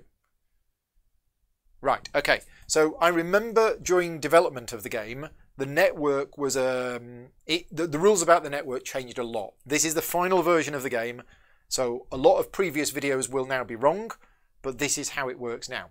So what you have is you have the burn. We basically we're going to go through this burn cycle again, and what we do is we place the burn cycle tracker here. We then move the agent's IP, or we pass, we resolve the node that it landed on, and then we move to the next one and so on and so forth. so that's there. Off we go to the network.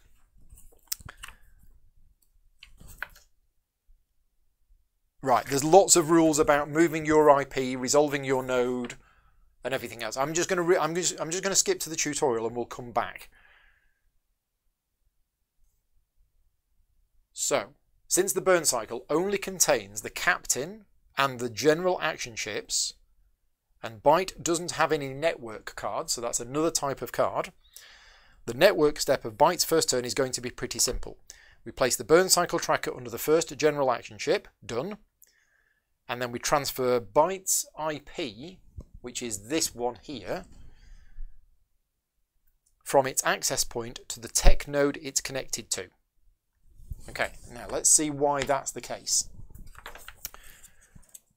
Moving your IP. IPs move along the network nodes following the lines of the network. The green, lanes, the green lines are layers, and the lines intermittently connecting the layers are called transfers. Okay? IPs move clockwise on the layers. Yep. IPs can use transfers during their movement to move inwards or outwards, but can only use one transfer per burn cycle chip. If you are on a general action chip or the captain action chip, your IP moves exactly one node, clockwise or inwards or outwards on a node with a transfer space. And that's we were. We were on a general action chip, so we, we've moved one node from there to there.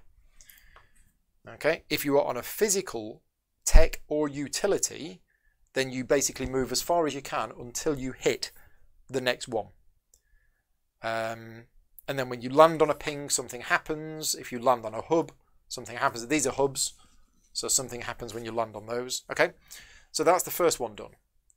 Um, then we move the burn cycle tracker to the captain action chip. Um, and we move another one, I believe. Is that right? Place the burn cycle tracker on the first one, do that. Move the burn cycle tracker byte will use the second chip to move one node clockwise again landing on a tech node. Right, and now we do the third action, and we've got a choice. We can either move here, or we can transfer and go in. And in the tutorial, it is saying she decides to stay on layer 1, since doing so lands on a hub.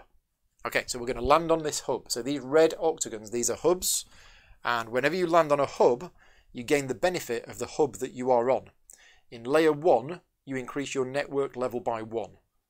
In layer 2, you reduce the threat, and in layer 3, you gain a power. And in layer 4, which is the core, uh, you get all of the above benefits. And your IP is then booted back to its access point. So because she's reached a hub on layer 1, the benefit of that is to increase the network level. So the network level goes to 2. Right, there we go. Next. Thank you very much, Paul, for the, uh, the Pling Patreon. It's working now. It wasn't working last night, so I'm glad it's working now. Right, step five, route power.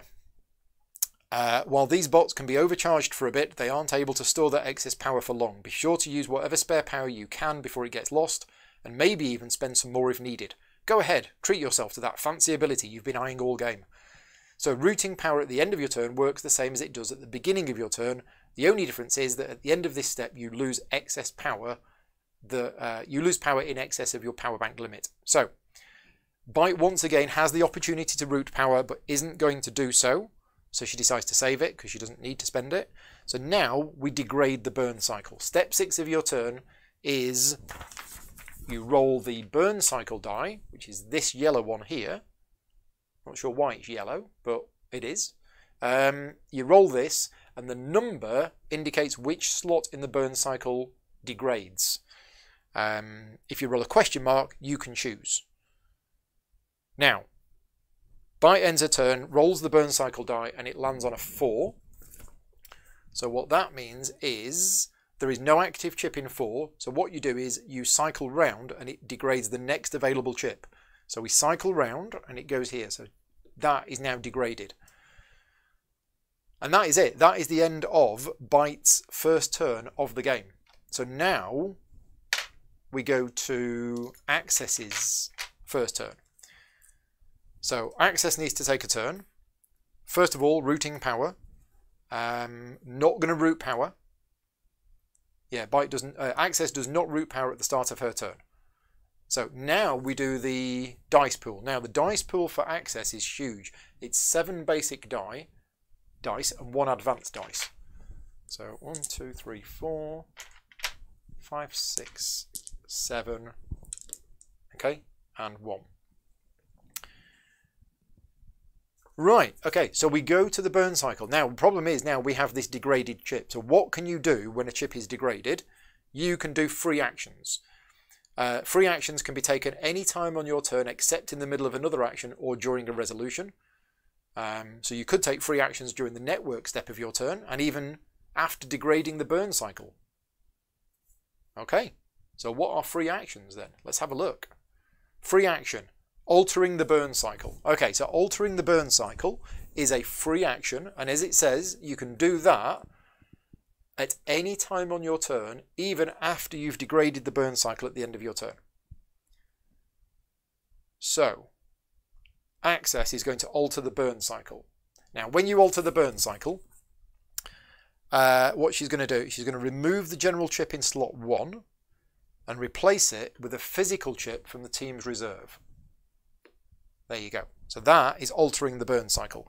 If Access had not done this, she would basically skip the first action.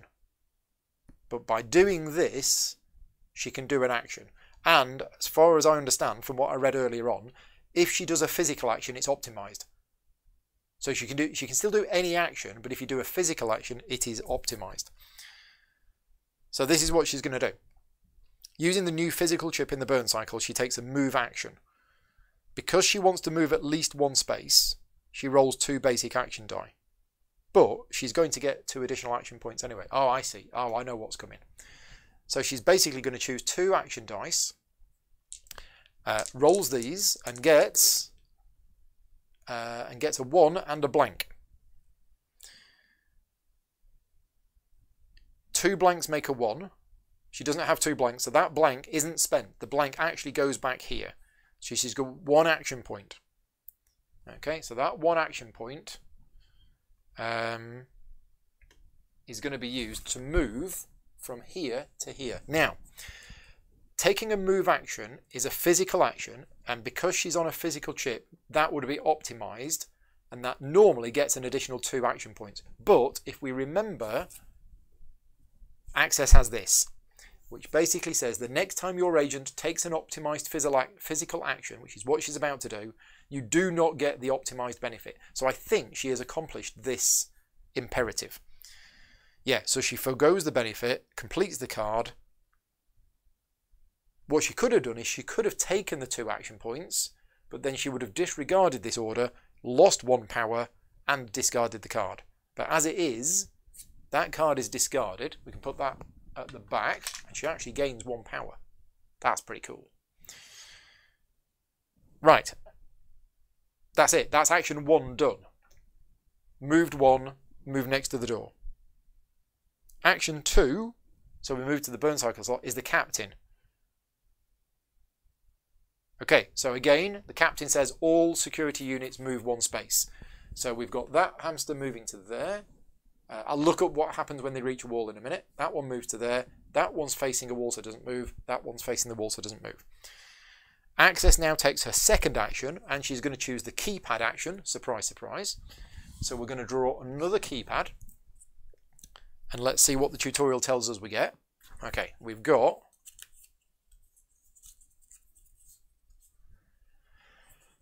uh, I'm just finding the one that it said, oh, there's plenty of these.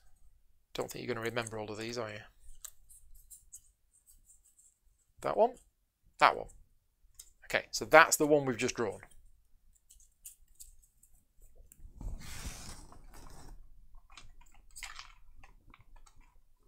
Get it there. Right, okay. So again, we're on floor one. So we're looking at the leftmost column and we have this icon. Now what that icon means is we roll the keypad die to determine what that icon actually is. Now, which is the keypad die? I think it's this fancy red one. Yeah, this would make sense. Um, so we roll this die, and we rolled, uh, which is tech. Tech is green, isn't it? Yeah, so we've rolled that. Okay, so basically that icon there is that one. So she chooses to discard the tech chip.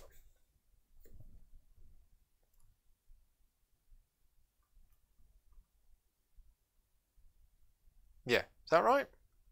Yeah, so she's going to discard the tech chip um, from her reserve to unlock the door. Right, okay, so we discard the tech chip. That goes back in there. Uh, we are going to unlock the door. So we put a little peg in here to say that that's unlocked. And whenever you unlock a door, go on, get in there. The hole's not quite big enough. There it is. Free movement in. This puts her within the awareness of the hamster, causing her to be detected. Yes, so the hamster's detection range is three peripheral vision, one, two, three. So access has been detected. Okay. Right. Next, action has, uh, sorry, access has one advanced action dice and six, that one's gone, six basic action dice, and we've only got one action left. So I think she's going to roll, she, she's going to move. Yeah, so action three is going to move. Uh, and she basically, she gets a two, three ones, and three blanks. Now remember, two blanks can make a one. Um, so basically she's got one, two, three, four, five, six AP. So six action points. So what she's going to do is, again, following the tutorial, she's going to move two to the right. One, two. Keeping her awareness chip because she's still detected by the hamster. Now she's adjacent to the hamster, its ability grapple 1 will trigger. Aha, right, okay, so at this point, the security unit has an ability called grapple 1. Now that will be explained in the rules reference, but I'm just going to follow through the tutorial. Basically says that uh, the grapple 1 ability triggers, this requires one additional AP to be used in order to move away from this guard. So she's got 4 AP left, and she has to spend two of them to move one more space to the right. There you go. Let me just put the um, let me just put the sideways view on, just just uh, something a bit different.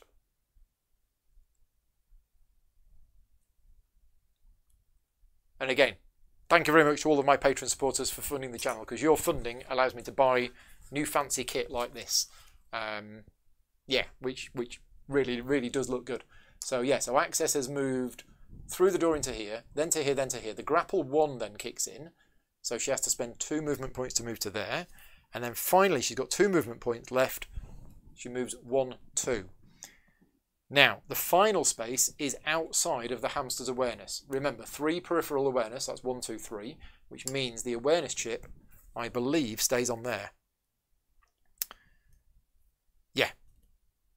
Okay. Done. Right, so that's what Access did. Came in here, ran around, the hamster spotted her, grappled her, uh, and then lost sight of her here. So as far as the security units are concerned, this is the last place that Access was seen. Right, we're now going to go to the network phase. This time we have a physical chip here.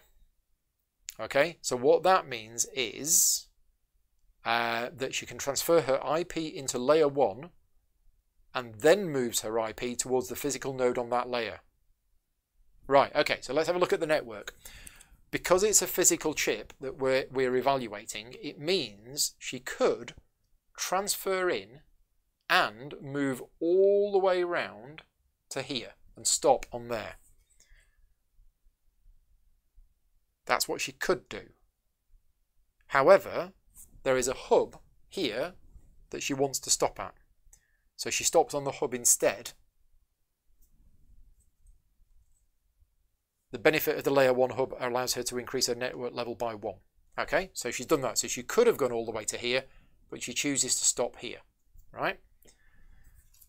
Then we go to the captain's action chip, uh, which basically allows her to move one step. So she's going to transfer to there.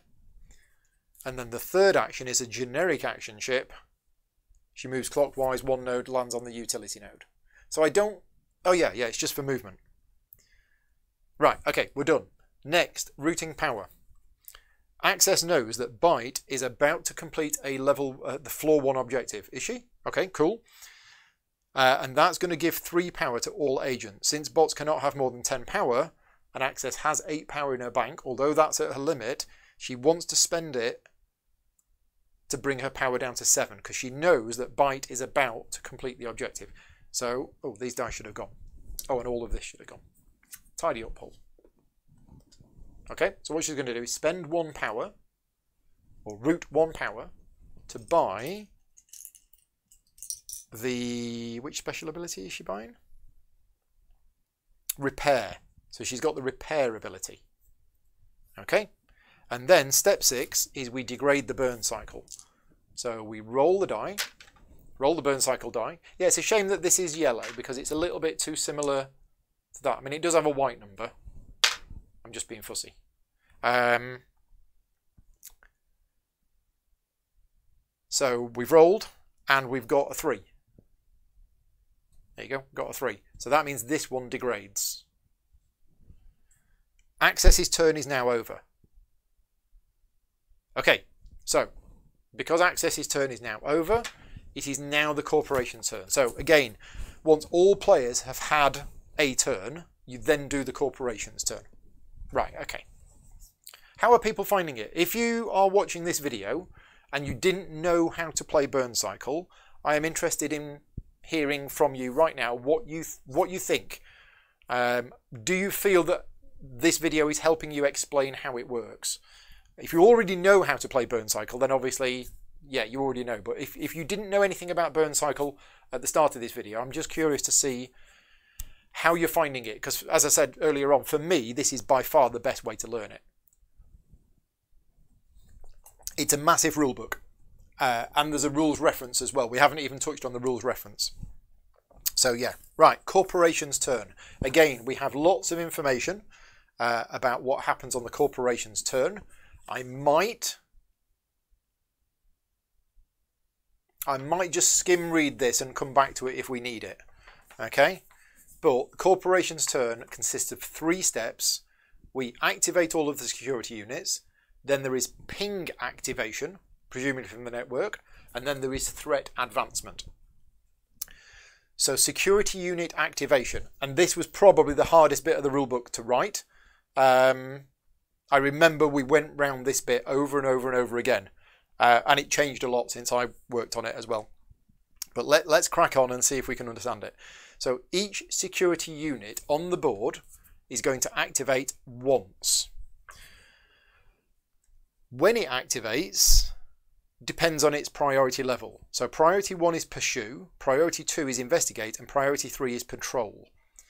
Um, okay, so the first thing we're going to do is pursue. Security units will pursue detected bots that are currently within their awareness. So we're looking for a detected bot which is within their with, with, sorry a bot which has its awareness chip on it which is currently within awareness range. Now i don't think that's any. So let's have a look. Let's walk through the corporation's turn. Pursue yes none of the bots are currently within the awareness of any security units so basically if there is a bot on the board and their awareness chip is literally is on the bot which means it's a detected bot and it's currently within the awareness range of a security unit, that security unit will try to pursue it. Okay. Step two, or priority two, is investigate.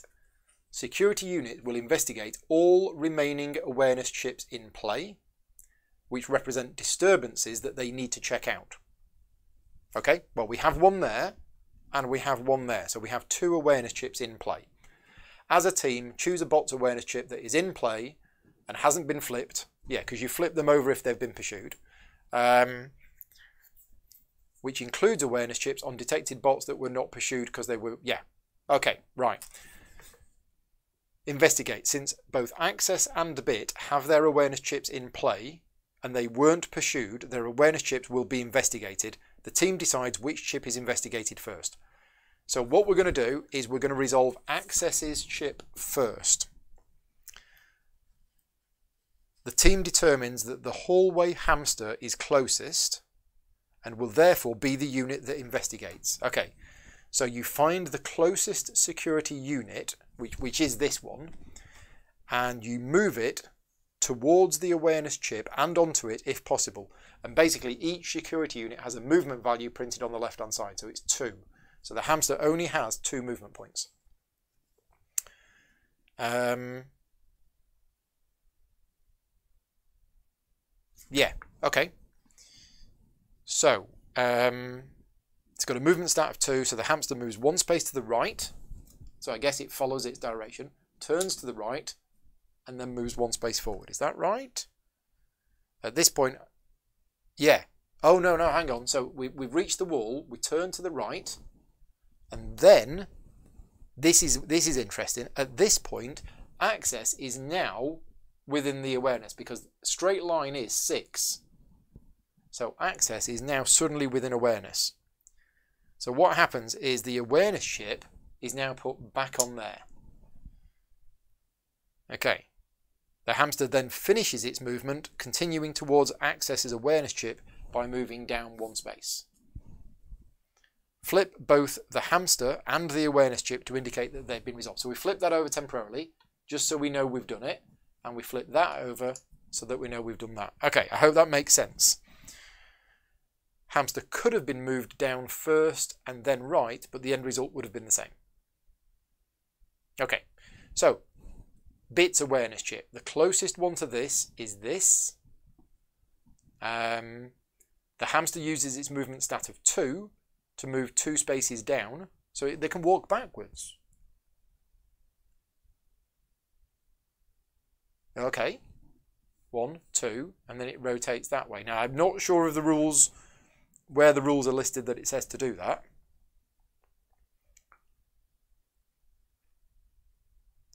Bit was detected after the hamster's first move. Hang on, right. So first move is there.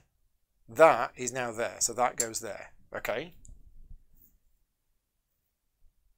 And again, the team had an alternate option to move the hamster right and then down.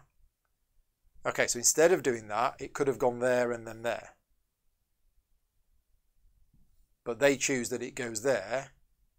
That puts that on there and then it goes there and turns that way. Is that right?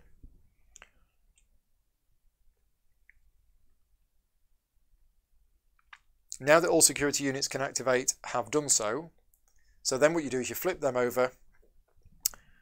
All security units that can activate have done so, so you turn all flipped units and awareness chips back over. This is the most complicated part of the game from what I remember. And I just need to read the rule. I mean, we've done it right because it's a tutorial, but I need to read the rules on security units movement.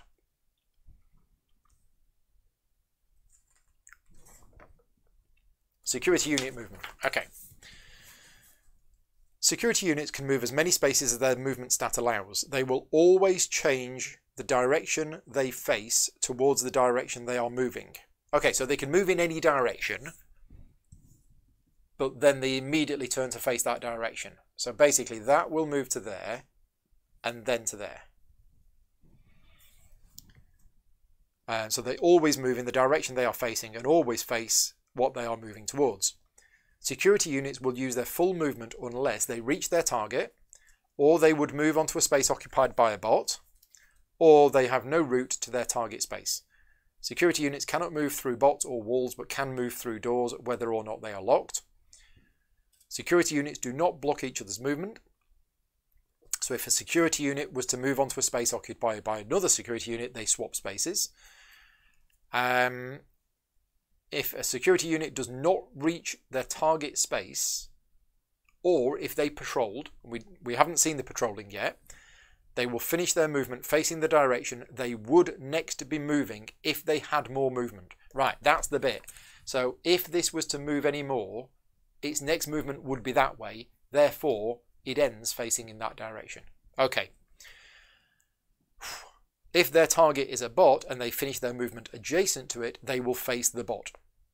If their target is an awareness chip and they end their movement on its space, clearing it, the security unit will maintain the facing of their last move. Right, okay, I think we've got it. Whew, gosh. I haven't got to the patrols yet. Yes, we're not quite at the patrols yet. The chips shouldn't be flipped until after patrol. Um, did I do something wrong? I was just I was just following what it said. Oh no no, you're right. I skipped ahead. Thank you. I'm right. I'm you're right. I missed that bit. I got distracted by the pretty picture. There was a pretty picture here and I thought, yeah, that's fine. Okay. So let's let's go back to this bit. This is the bit that I was a little puzzled about which is here. And let's uh, let's go for the side camera again. And we're going we're going here, aren't we? It's quite thematic that fact that I've got a security camera looking at what we're doing. Right, okay, where's me where's me bottle of water?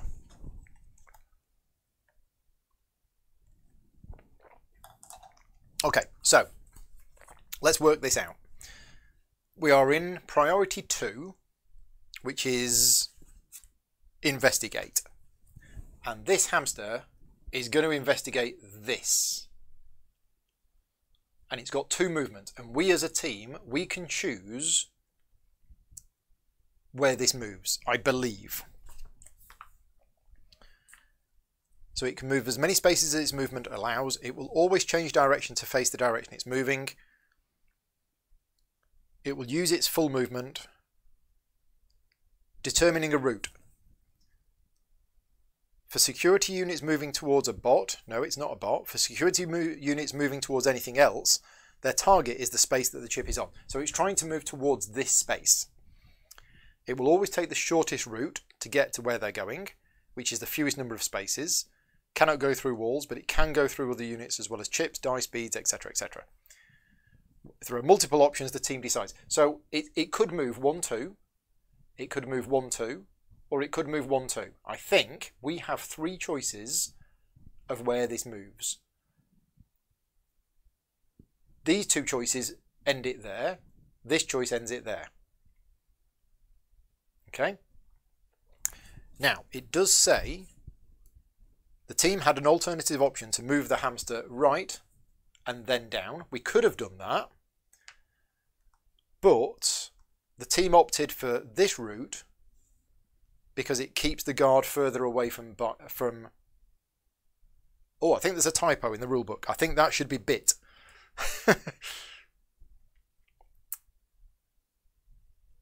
oh no no no Byte. It is it isn't a typo. It keeps the guard further away from byte. I forgot about byte. Byte was hiding in the corner. Right, so that's why the team has chosen to send it here because it's further away from byte. Whereas if we'd have gone there and there, that's closer. Right, okay. So this is interesting. Although you're moving the guard, you have some choice over where the guards move. Now, let's just go through this. If we had have gone there first, then that would have now been within the awareness range. So that would have gone on there. And then at this point you still go there. You don't go there. You definitely don't want to go there, but could you go there?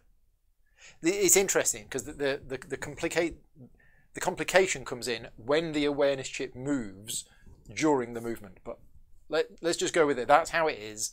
That's there. That's there. We're all good. Okay. I think we're done. That's that's investigate. Now we go to patrol. So security units that can patrol now do so. Guards that are in rooms don't patrol, unless otherwise stated. So the bulldog in here doesn't patrol, um, but the walker will patrol. And it will patrol around the perimeter of the hallway with its movement stat of 4. So it's going to move down three spaces, because that's the direction it's facing. Um, then it turns, and then it moves one space to the left. Now the reason it's doing that is because it is on patrol. You move any security unit that has not yet been activated, including guards, sorry, not including guards in rooms, and you move the security unit according to its patrol. This is indicated by the icon on their chip. So the icon on the chip here tells you uh, how it moves. And this is all explained in the quick reference on page 43. Oh, which is the back of this book, I believe. Yeah, quick reference, page 43, security patrols, it's, it's perimeter. So it follows the outer perimeter of its area, moving counterclockwise. If it is not facing a direction that would have it move counterclockwise following the perimeter, it will turn right.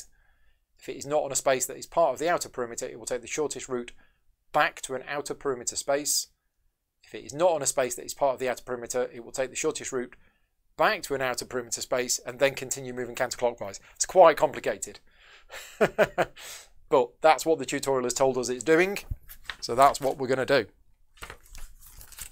Right, there are no other guards, I believe, to patrol. So now we're done. And now we flip over. Yeah, so all of the stuff that was now flipped, we now flip back. You've got to make sure you maintain the, uh, the correct orientation. Right, there you go. Security guard unit movement. Next, step two of the corporation's turn is we activate pings. In this step, each ping on the network is activated. If there are, if there are pings on the network, they activate starting with the pings on the most outward layers and working inwards. If there are multiple pings on the same layer, the first ping that will activate is the one with the most space behind. I remember writing these rules as well. This was this was quite tricky to write. We currently have no pings on the network. So what happens instead is the CEO adds a ping to the core but it does not move. And the core is there.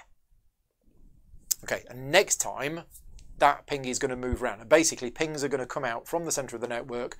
They're going to go round here and they're going to try and attack these IPs. Um, yeah, so if there are pings on the network, they activate. If there are no pings on the network, the CEO instead adds a ping to the core. Um, then Roll the ping die a number of times equal to the number of hubs occupied by pings at this time. So we roll one die. Yeah, because this, this, is a, this is the core, but it's also a hub. Okay, so we're going to roll the network die, which is this one. And we've rolled, what have we rolled? We've rolled uh, that. Okay, and that icon means that we increase the CEO's network level by one. So we're going to increase that from one to two.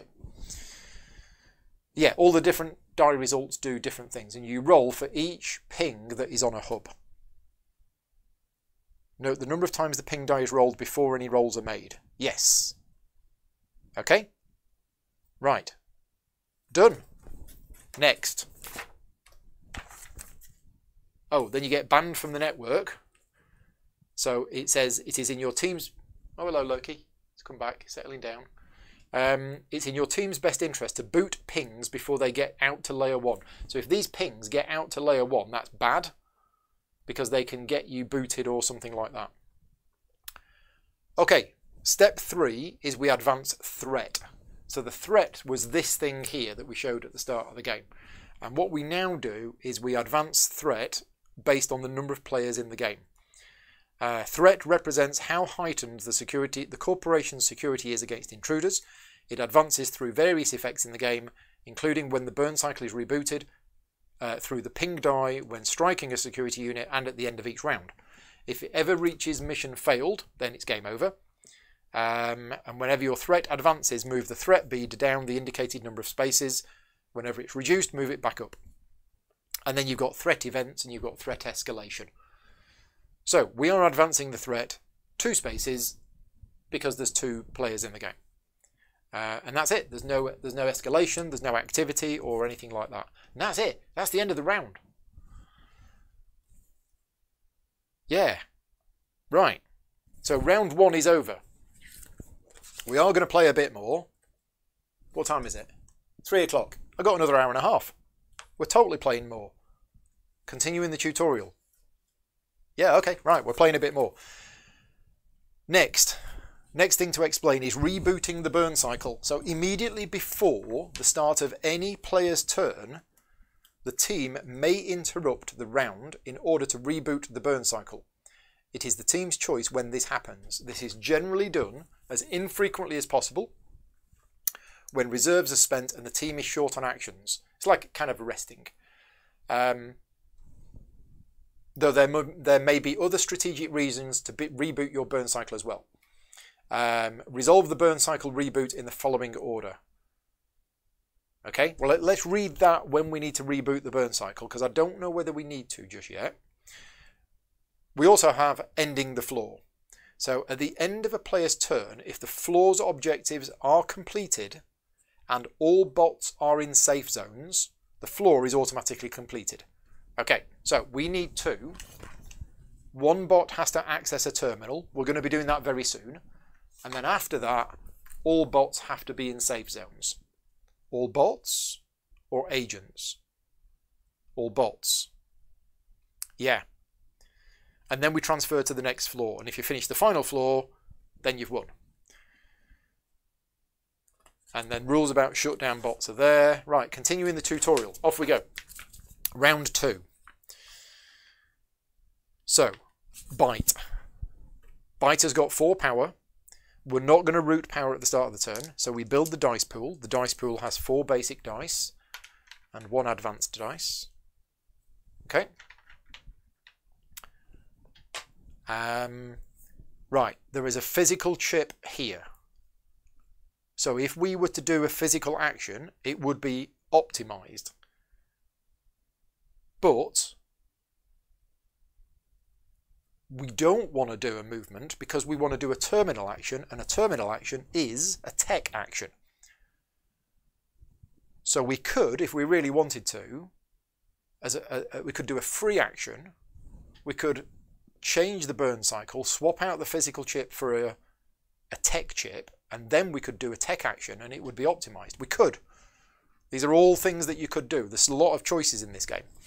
Um, but we're not going to do that. We're going to follow through the tutorial, which says what we're going to do, Paul.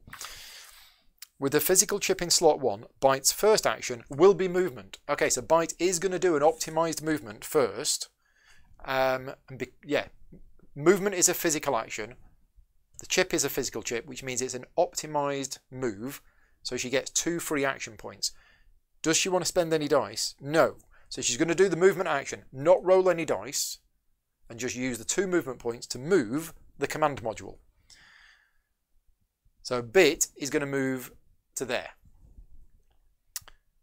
Since bit is within the awareness of the hamster who were awareness chip, yeah, still within the range of the ham. So still within awareness range of the hamster, but now the hamster is slightly out of range of the hamster. Okay. Now she can't move again. Oh, she could. Why? Why wouldn't she move there? Okay, we'll find out later. We'll find out why bit is only moving right one space. Next, action two is the captain's chip, so we have to move all security units one space. Oh. So this hamster moves to there, this hamster moves to there, and this walker moves to there.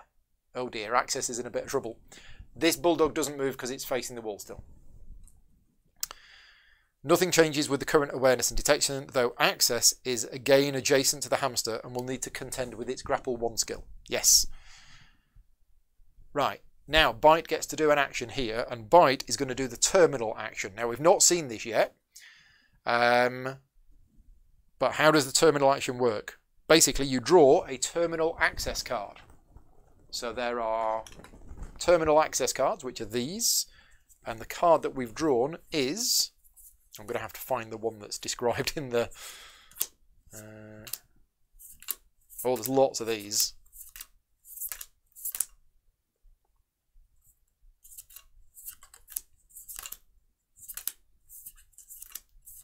It's probably at the back. Nope, found it. These cards have still got that chip theory game smell. So this is the card that we've drawn. Um, yeah, so since she's on a terminal, she draws a terminal access card. While all of the card's options would be useful, unlocking a door seems like the best choice, seeing that access could use some help in getting away from the guards surrounding her. So basically, you can choose which option you want, uh, and we're going to choose the bottom option. Cycle lockdown protocol. Unlock a door of your choice. Um, and then what you do, is you roll the dice and you're trying to get, I believe, three action points. Okay, so it suggests that we roll a yellow and two blue. And that's what we've rolled, which means we don't need to use the tumble magnet because we've already got four, which need which passes the three that we need. So those dice all disappear. Uh, and then we get to unlock a door of our choice. So we're going to unlock this door here. Okay, so that door there is now unlocked, so access can sneak in. Uh, right.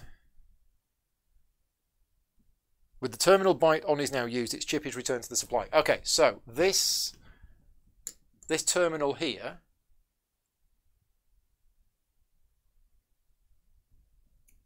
is removed. Now, I'm just looking at this um, imperative card. The next time your agent takes a terminal action, yeah, you must not be on a tech chip in the burn cycle. We was not. So this goes and we get a power, I think. I think the tutorial is going to get to that point in a minute. Let's see what it says. She decides to unlock the equipment room. Yeah, yeah, also completes Byte's remote jammer in, uh, imperative, so she discards the card and gains one power. Excellent. With the terminal access, the team has completed the floor one objective. Remember, our floor one objective was access a terminal. We've done that, which means all agents get three power. So we go from 5 to 8, and we go from 7 to 10. It's like XP. Love XP. Um, yeah, the command module does not gain this reward. Since the floor's objective is complete, it's time for the bots to get to the safe zones. Okay, so the next thing is we're going to move to here. But before that, we're going to do a free action. And we're going to alter the burn cycle by swapping this chip out with this chip. Okay?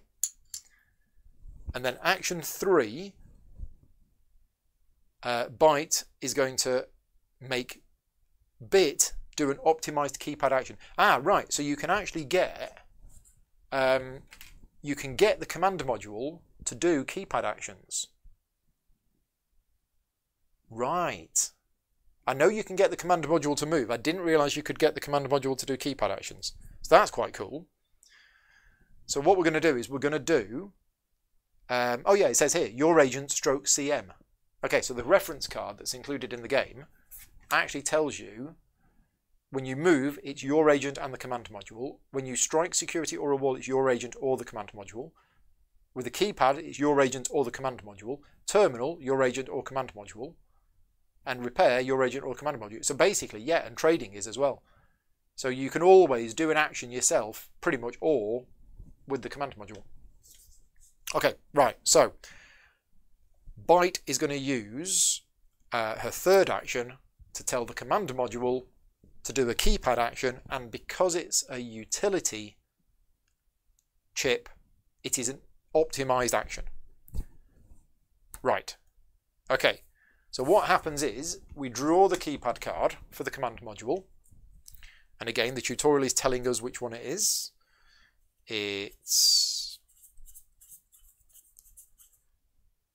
not that one. It's that one. That's the one we've drawn. Ah, so we can brute force it at a cost of four action points. If we really wanted to, we could brute force it. Um, and I remember there being a discussion with Shannon about these cards. Was it me that suggested Jam should be down at the bottom instead of at the top? I, I think I did. I think that was one of my suggestions. Um, so, since the action is optimized, you can ignore the tech input and freely unlock the door. Ah, right, let me just have a look at this again. Let me just go back in the rulebook.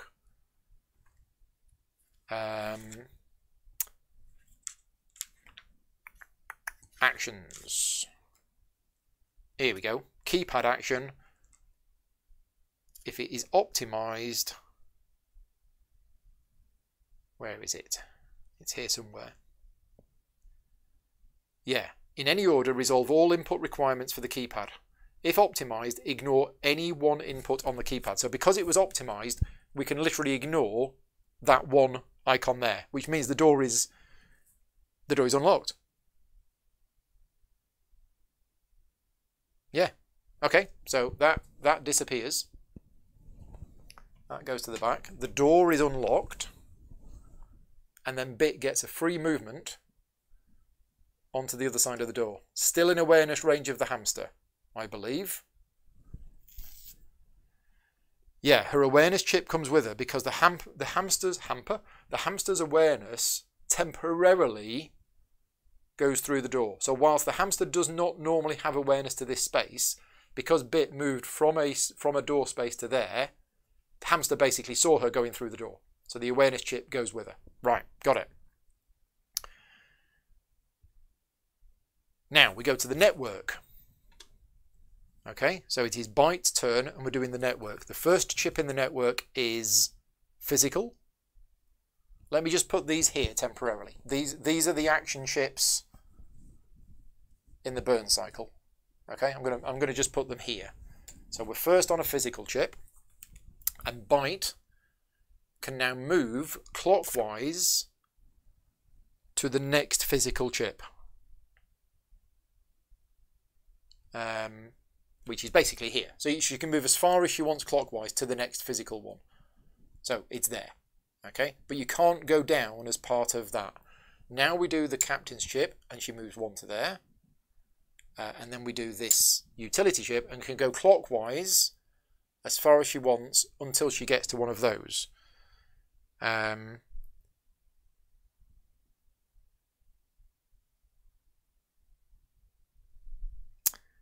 Using the utility chip, she will move one node clockwise and then transfer in again.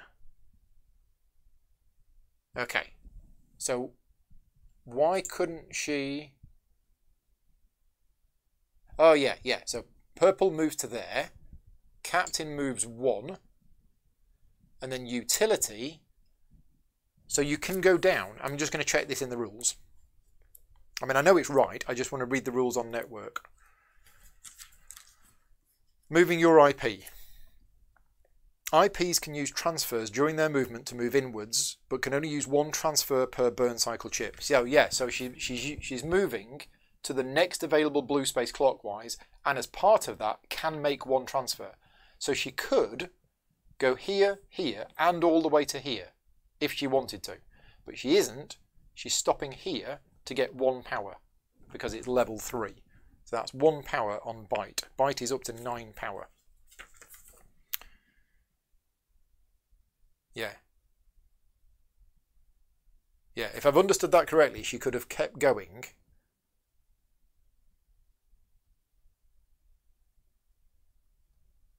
Yeah, so you have to stop on a node occupied. Oh, you have to stop on hubs. Ah, right. So she can't have kept going. So you have to stop if you if you reach a ping, you have to stop.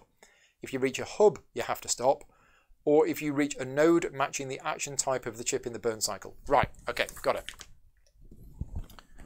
Let's pop those back. There we go. That's probably what the chat's saying. Yeah, stopping at hubs is mandatory. Thank you. Right, next. Routing power. So Byte now has 9 power, which is insane. Um, so she's going to have to activate some upgrades because otherwise she's going to lose all of it. So we're going to spend 2 power to activate a second advanced die. Um, because she's now at the limit of her advanced dice, she's going to spend another 2 power to convert one of those into an elite dice.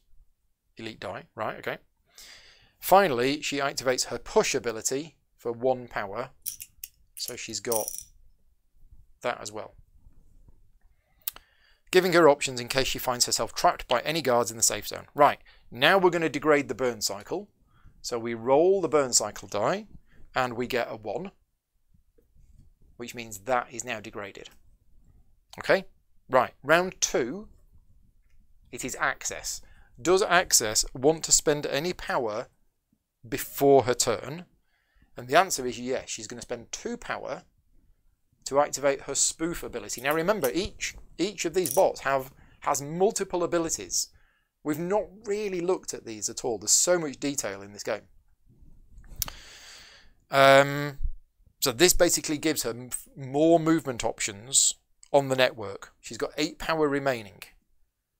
So, dice pool. 1, 2, 3, 4, 5, 6, 7, 8 and an advanced one. Okay, so that's the dice pool. Right, before taking her first action, Access alters the burn cycle, discarding that chip and replacing it with the tech chip from the team's reserve. Now, she's going to make the use of the tech chip to make an optimized network card action. Is that an action we've seen before? It isn't. We've seen terminal cards, we haven't seen network cards before. So this is a new action we've not seen yet. And there is a new type of card in the game, which are these network cards. Let me just have a look over at Access. So network cards. And you can do a network action wherever you are.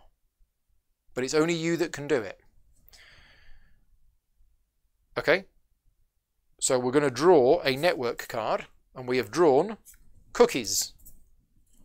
Nom nom nom. Getting hungry, actually. That's what happens when you skip lunch.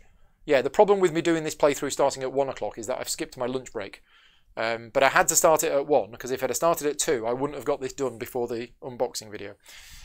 That's why I started early. Um, so, basically, she draws the following network card. So, cookies.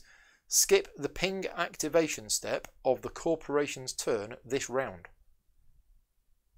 Okay, that's quite cool. I don't know what the stuff is at the top.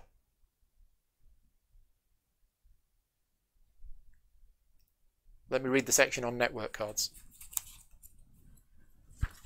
Network cards. I don't remember this bit from working on the rules. This might be new, or I might have just forgotten. Network cards. The network is full of useful nodes, but their benefits are hidden behind code. Cracking the code will give you information. Um, your agent can take this action from anywhere.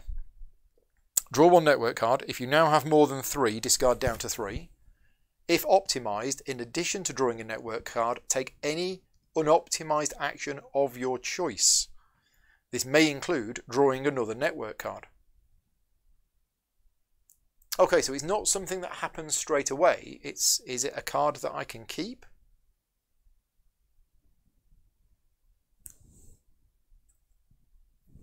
Hmm. Or is it permanent? And I don't know what the thing means here. Right, where are network cards explained? Ah, what is a network card? Network cards can be drawn as an action.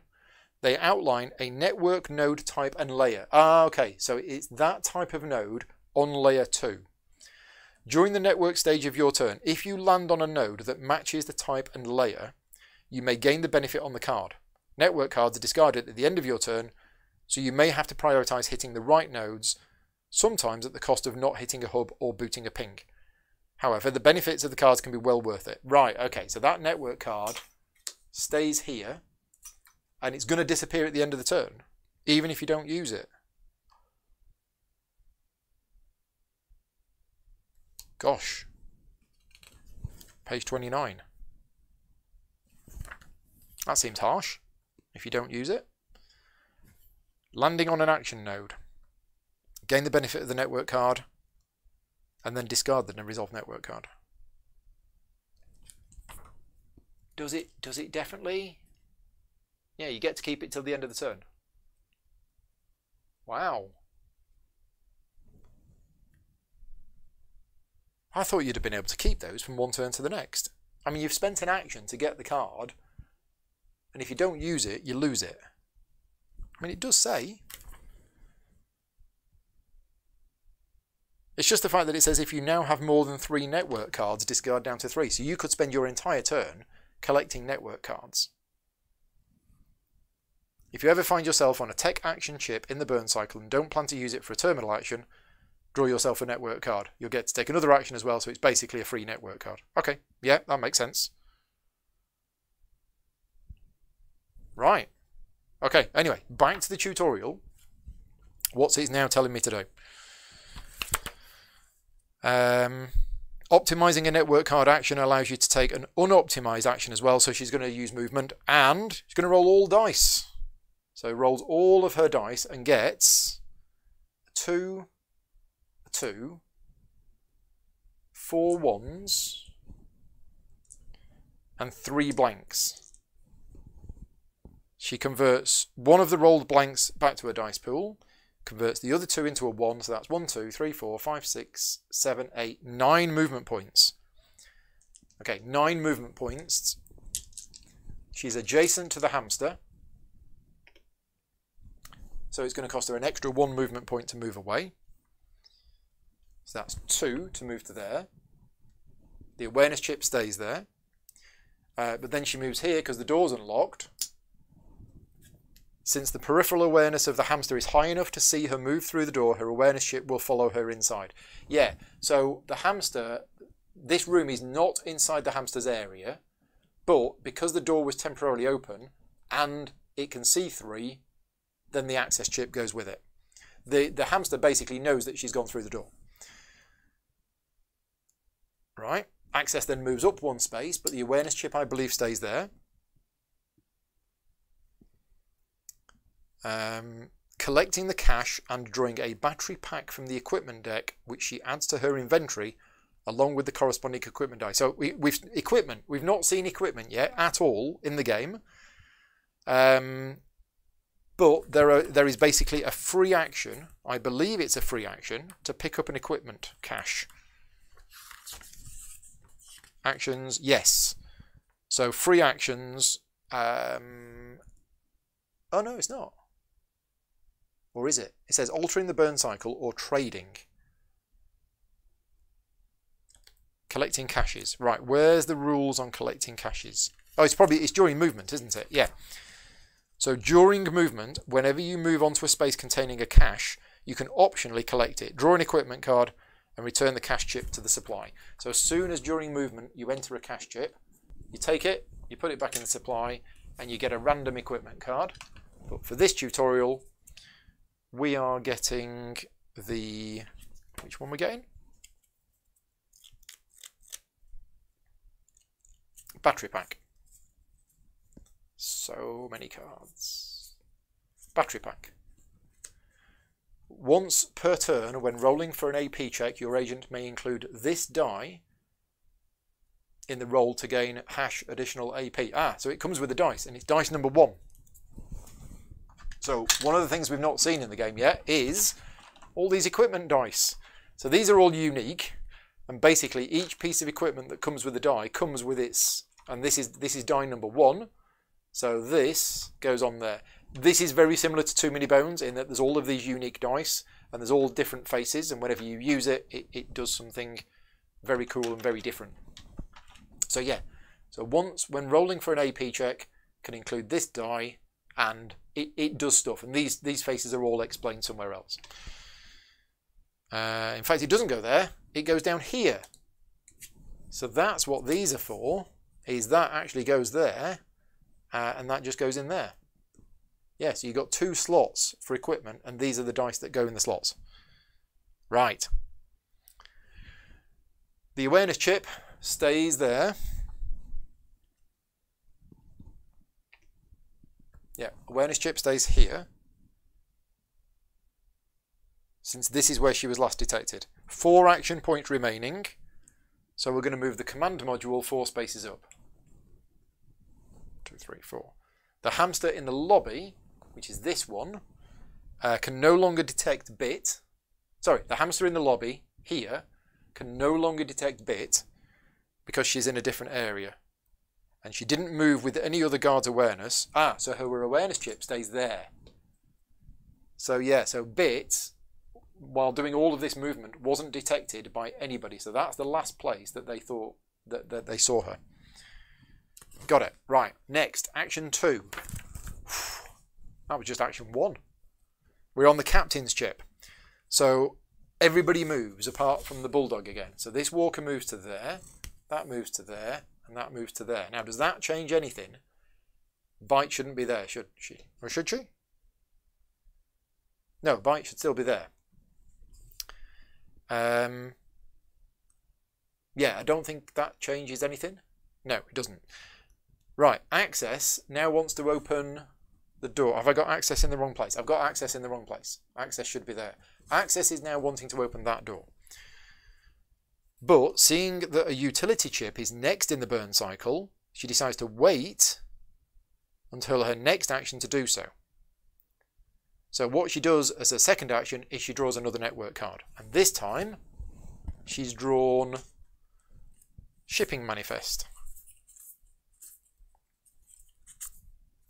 Okay. Now, action number three, she's on a utility chip.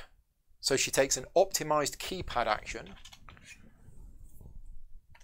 I'm starting to get this now. This is all, this is, it's going to take a while. This is a complex game with a lot going on, but I'm starting to get it.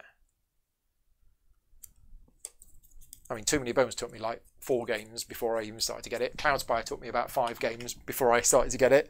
And once you get it, it's worthwhile. But there is an uphill um, yeah, it's it's it's a learning curve to get get to know any of the games from Chip Theory games because they're so detailed uh, and they're so rich.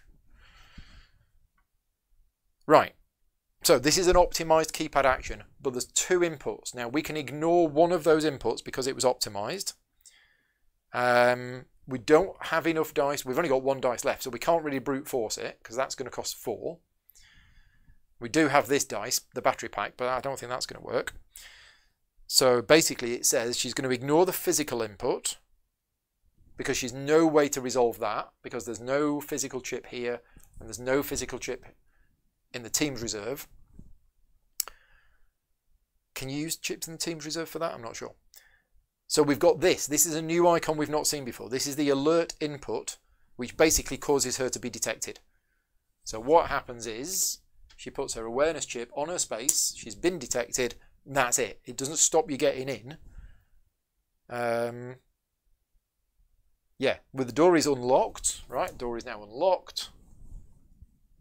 So we get a free movement inside. Now, does her awareness chip stay with her? Oh, that's interesting. With the door unlocked, access moves into the utility room for free and surveils it. Yeah, no, I, th I think that stays there because that's the last space that she was spotted. Yeah, so basically there must be a camera on the keypad that's detected that she was there, but then it doesn't know where she's gone next. But she's moved into this room with a bead, so we have to roll the surveillance die, which is this one, and we've rolled and we've got that. Now that icon is Network. No, it's not network. What's that icon? It's an imperative. Ah, right, that's an imperative. So she's get she gets another imperative card. Right, and she's drawn fish fingers. Sorry, fast fingers. I'm definitely getting hungry. I'm, I'm seeing everything as food. The next time your agent collects a cache during a movement action, you may not take any further actions that turn. Ouch. Ouch. It's quite harsh. With no guards detecting her, her awareness chip remains in the equipment room. Right, okay, done. So surveilled that room, gone in. They think she's still in the equipment room. She could sneak out of here, go in here and get in there. But there's lovely stuff in here. There is lovely stuff. What was the point of um, accessing a terminal? I mean, we had to access a terminal for the mission, but I don't know what bonuses we got from accessing a terminal. Oh, we got to unlock a door, didn't we? Right, now we're on the network. So, first of all, we have the um, tech chip. So she's going to move two spaces clockwise and land on a hub. Okay, that hub reduces the threat down to one because it is a, a layer 2 hub. She then goes on here and moves her IP one node clockwise from the captain action chip. Okay, so she's not going in. Ah, right, she's choosing not to go in. Interesting. Have I got her in the right place?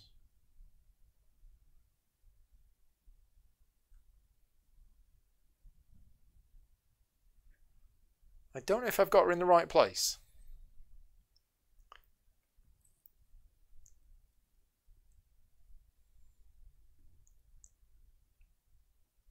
Yeah, I'm not sure. It says she moves her IP one node clockwise from the captain action chip, which is which is there.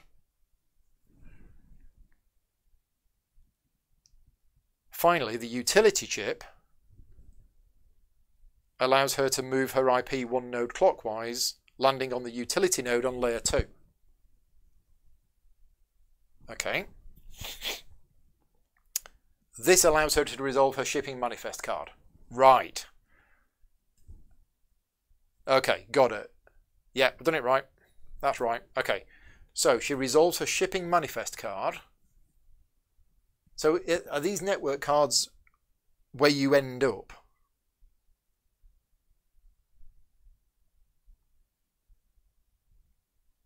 No, I think it's I think it's each action. Each time you move on the network, you land on somewhere. You can resolve one of these. I'm on the wrong cam. Oh, I'm on the wrong cam. Sorry. Yes, just spotted that. Um, so yeah, what she's done, she started started here. No, no, no. Start started here. Um, first one was to move to there, which reduced threat by one. Then the second one was the captain's chip, and I was expecting this to go into here. But because of her network cards, she moved to there first, and then the third one moved to there. Yeah. Yeah, each move doesn't have to be the final move. Thank you, Diane. So yes, so basically each time you move, wherever you land can trigger one of these. But she didn't manage to land on a utility, sorry, on a tech layer 2, but does manage to do that. So that is shipping manifest, draw two equipment cards and choose one. And what is it going to tell us? She draws two cards from the deck, terminal bypass and a key. Since Access already has great terminal benefits with her abilities, uh, she decides to keep the key. The key equipment card is immediately discarded along with the terminal bypass she didn't keep she places a key chip in her inventory. Right, okay, so basically, um, if you take this card here, you immediately discard it, and you take a key, and you put it there. Not quite sure what keys do, but I'm sure we'll find out. Um, and the shipping manifest card is also discarded. Right, okay. Now, as a free action, she's going to use her IP spoof. Access may discard a network card to swap her IP's position with the position of any ping on the network. OMG. She may resolve the node that she lands on after swapping. Right, wow, nice. So what she's going to do is she's going to discard the cookies network card, because she's going to lose it at the end of the turn anyway, um, to basically swap her IP with that and then she can resolve that. So that's the core. Wow, She's got all the way to the core. Um, so she gets one power, putting her on nine, increases her network level by one, goes up to three. Uh, and also reduces the threat back down to zero. And then her IP is booted back to her access point. So whenever you get to the core, you get to do all of that cool stuff, and then you go back to there. Right, routing power. So it's the end of Access's turn. Uh, Access is on 9 power, which exceeds her limit. Um, so she routes 2 power to activate a second die upgrade. Uh, and that is it. Then she degrades the burn cycle, rolls a 2, and that degrades the captain's chip. Um, now, can, can the captain's chip be swapped out?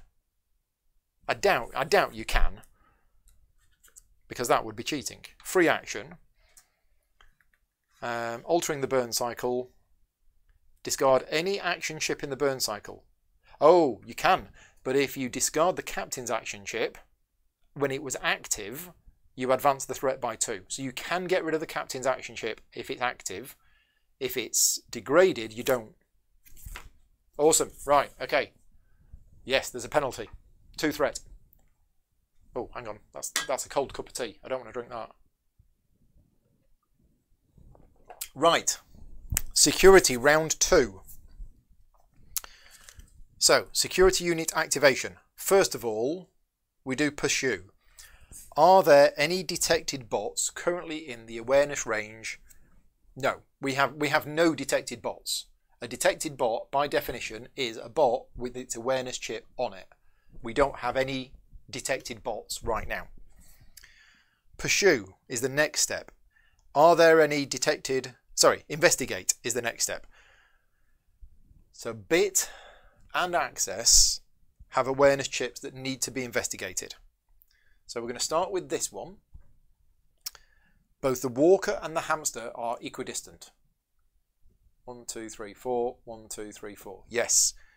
So thinking that hamster is a bit easier to avoid, we decide to move Walker into the equipment room. Okay, so Walker moves up by one, right by two, and then up one more. And it ends its turn on the awareness chip, which clears it. So presumably that just comes off. However, the players unfortunately did not fully consider the implications of this decision. Bad players. The walker is now adjacent to access, which triggers its drain ability. So the walker has an ability called drain. I think it's time for side cam. So this is all going on. Need to turn the autofocus on. There we go. So this is all happening here. Yeah, so even though you see how far this uh, this new camera zooms in, it actually zooms in quite a way. yeah, it's it's a bit sensitive though, but there you go. You can see how much it's going to zoom in. Um, so yeah, so we've got the drainability of the walker, uh, and it is adjacent to access. So and I remember this part of the rules as well was tricky. It's all about adjacency through doors because the security units treat doors as if they are open. So, what does the drainability do? Um, Access must return a reserve chip to the supply, meaning that she loses her utility chip. Oh, okay. Maybe the hamster would have been the better choice after all. Fortunately, the walker still cannot see through the door so access remains undetected and is not attacked. So that's a little unusual. The drain ability kicks in, but Walker cannot see through the door. Okay. Then we have the hamster in the lobby.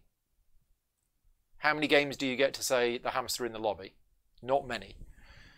Um, oh no, it's, it's not there. It's down here. Yeah, so here we go. The hamster in the lobby is closest to Bit's awareness chip. So it uses its two movement points to land on Bit's awareness chip and clears it from the board. The hamster ends its movement facing the wall since that is the direction it was moving when it reached the space it was targeting. Okay? And then finally, Um, let's look at the map in general. Um, finally, we have the last security unit to move is the hamster by the equipment room. So this this one's moved. This one's moved. Um, so we have this one to move next, and this is on patrol. And the patrol icon that it's got is that, which means it basically moves two spaces down. So one, two, and then um, that particular icon that it has is in the reference sheet. Let's have a look at the reference, page 30 something.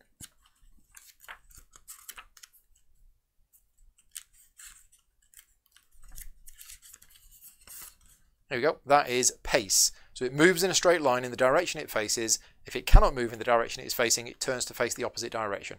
Okay, yeah, so what that does is it will move there uh, and then it turns round to face to the way.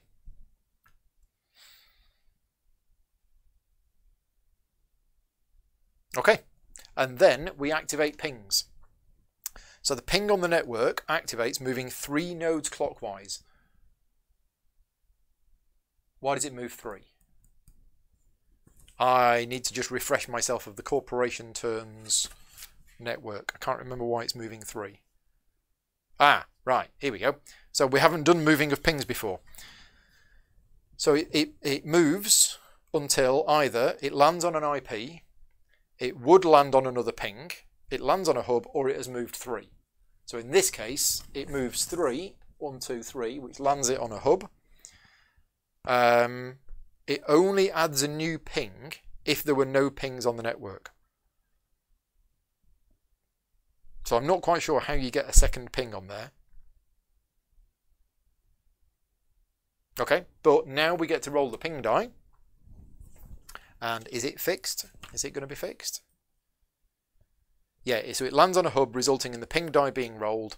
Its result adds a new ping to the core. Ah, right, that's it. Okay, so we're going to roll the dice.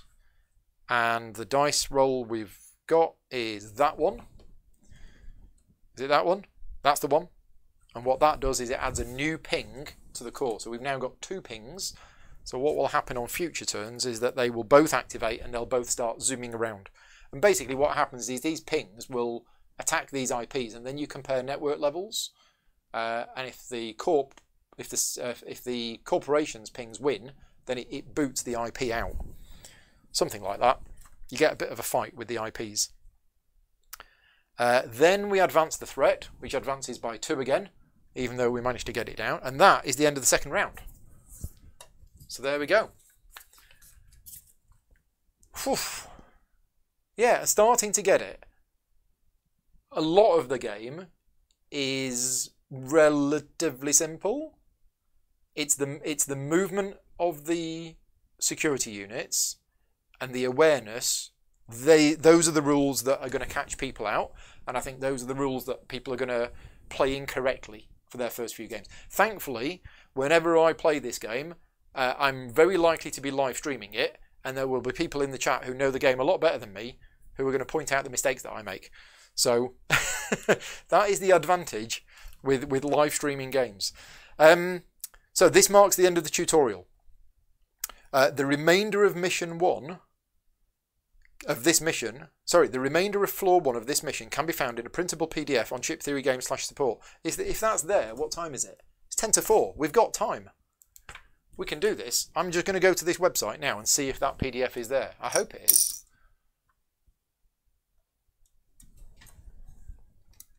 So, where are we? Because it would be nice to finish um, chiptheorygames.com slash support and we are looking for yeah okay where am I I'm Europe Oh gosh, where is it? If Shannon's still in the chart, tell tell me if it's actually there, because I'm I'm trying to find where it is on the website. I'm on the support page, and the game is not on the right hand side. I mean, the the game's not actually out yet, technically, so it might not be there. Um, I mean, we could just try playing through it. Yeah, I'm I'm not sure where it is on the website. Because Burn Cycle is not really there yet. The only link to Burn... Shannon had to go to the office. Right, okay. Yeah, I'm not seeing it on the website. The only the only thing I can see on the website for Burn Cycle is uh, about pre-ordering it and the and the stuff that you can buy. I'm not seeing anything in relation to here. Oh, here we go. Upgrades and extras. No, I think that's just the stuff that you can buy. Add-on content, core games burn cycle. Yeah, I'm not seeing it there. That's a shame. I'm sure it will be there at some point. It's not there at the moment, but as I say, the game's not completely out yet. Um, but it looks like uh, the remainder of floor one of this mission can be found in a printable PDF. Oh, and then there's something called Rescue Mode, where you can chain several burn cycle missions together for a high stakes challenge across multiple corporations. I think I'll skip that for now. I'm certainly not that experienced.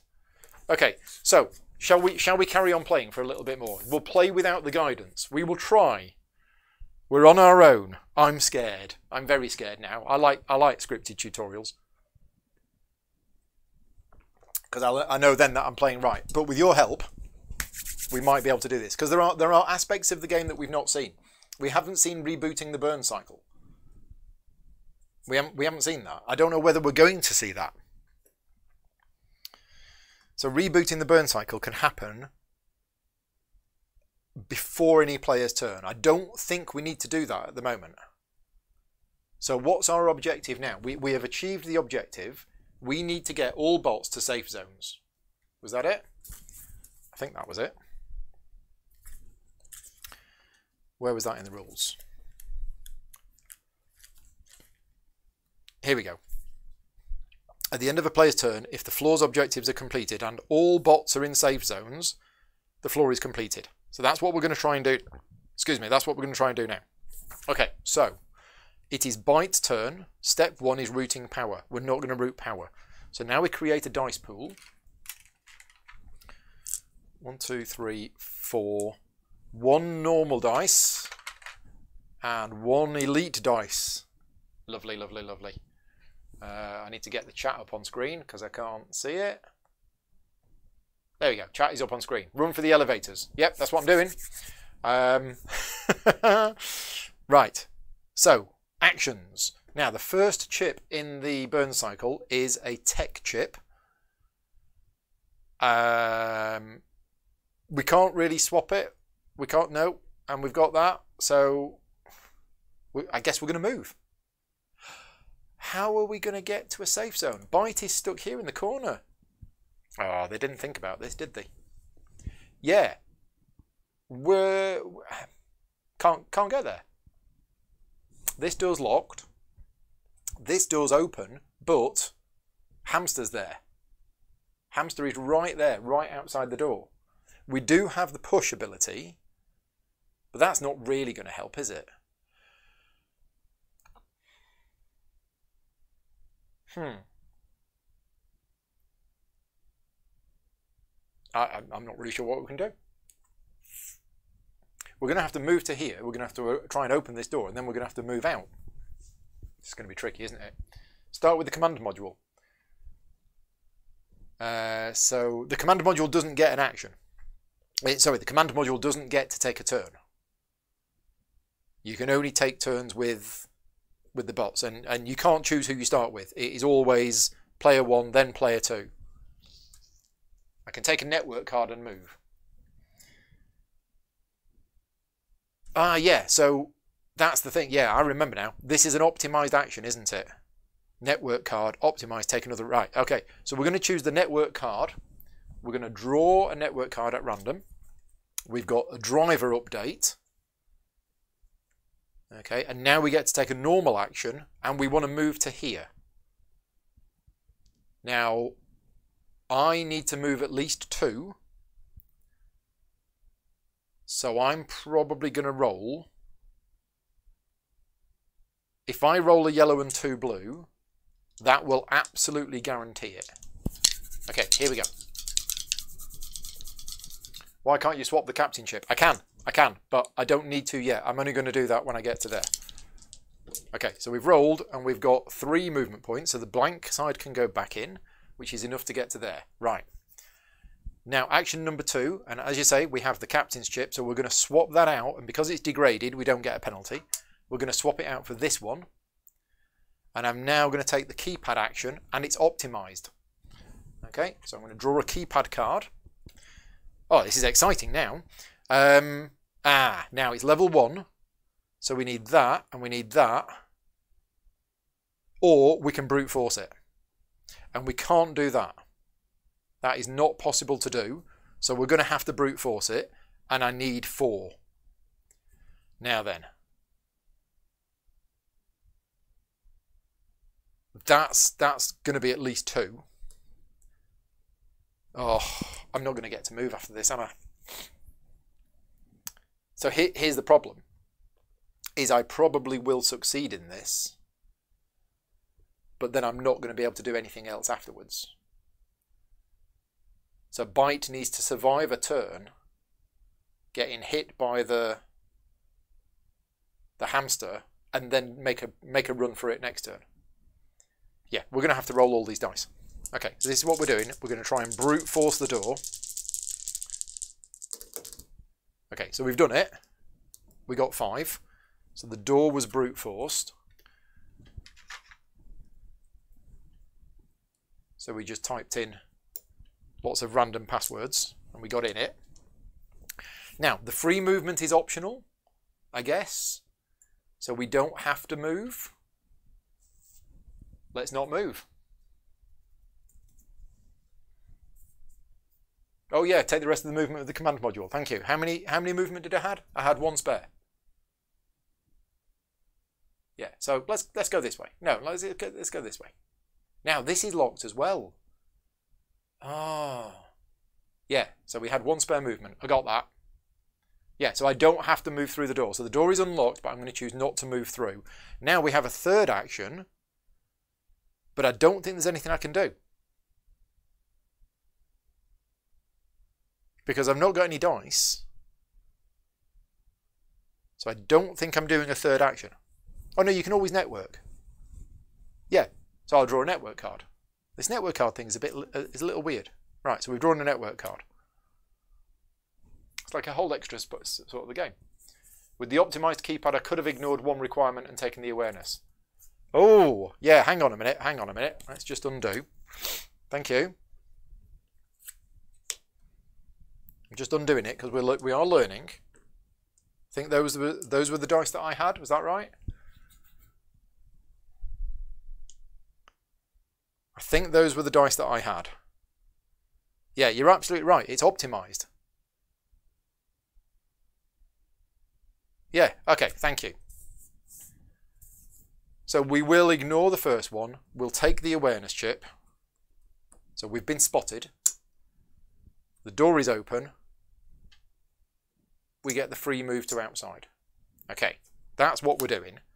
Third action, I'm moving. And now I've got all of this. Uh, the captain's chip was degraded, so only three actions. No, so the captain's chip is gone. If you if you replace the captain's chip, it's it's not there anymore. So yeah, I, I replaced it. Luke is asking, don't we have to roll a die for the keypad to see if it adds or remove any requirements? No, so you only roll for the keypad if it had that icon there. So that icon there means you roll a dice to determine what that is. This one didn't have any dice on it, so it's uh, so it's fixed.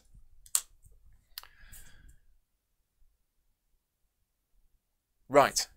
So basically, our third action, I think, is where we are now at, and I think I'm moving, and I'm using all of the dice that I've got left.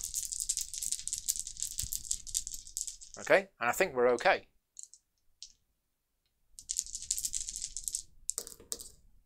So two blanks together make a 1, which means I've got 4 movement to share between me and the command module. So the command module is going to go there, and then I've got 3 left for me. So we'll go there, awareness chip goes with me, because hamster's range is 3, there, and I've got one more movement, and I'm going to move to here, which means that stays there. I believe that's right. Because the hamster's awareness range only gets to here, and then Byte's gone here. So I think that's right. I think that is my... Both security bot units are triggers. Oh, we've got grapple. We've grapple here, so it actually costs me one more movement point to get away. So I only get to there. And drain. Okay. Yeah, I haven't looked at... Let me have a look at drain in the reference book. This is what happens when I get left on my own. Take the, uh, take the tutorial away from me and I get stuck. Drain. Where are security units actions? Sorry, security unit abilities. Where are they?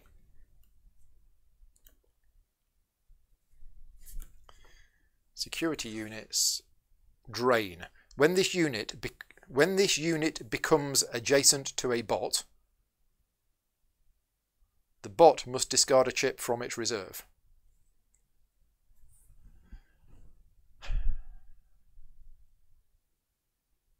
Uh, well, I don't think it's adjacent. I don't think the walker can drain bit through the wall.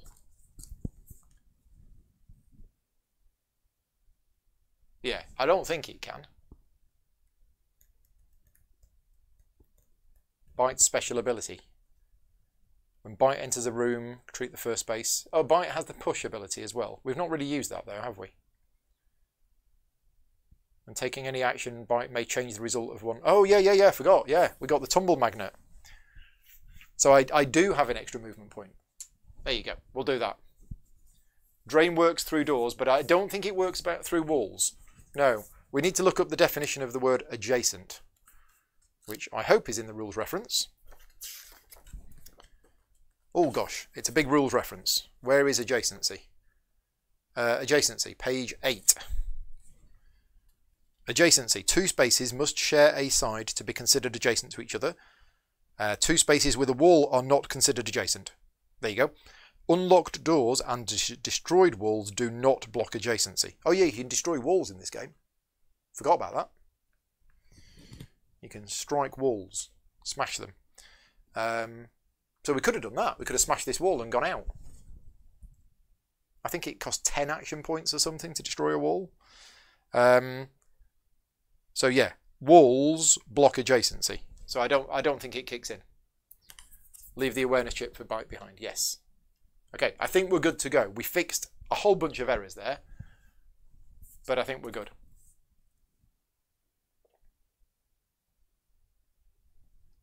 Yeah. Scott saying it's an unlocked door. What? What's an unlocked door? We're talking about this. Bit bit just moved to here and it isn't affected by this because there's a wall here. There's no door. There's no door here. So, and, and that's already happened. We did that last time. So I, I think bit can move there and it's fine. I, th I think we're all good now.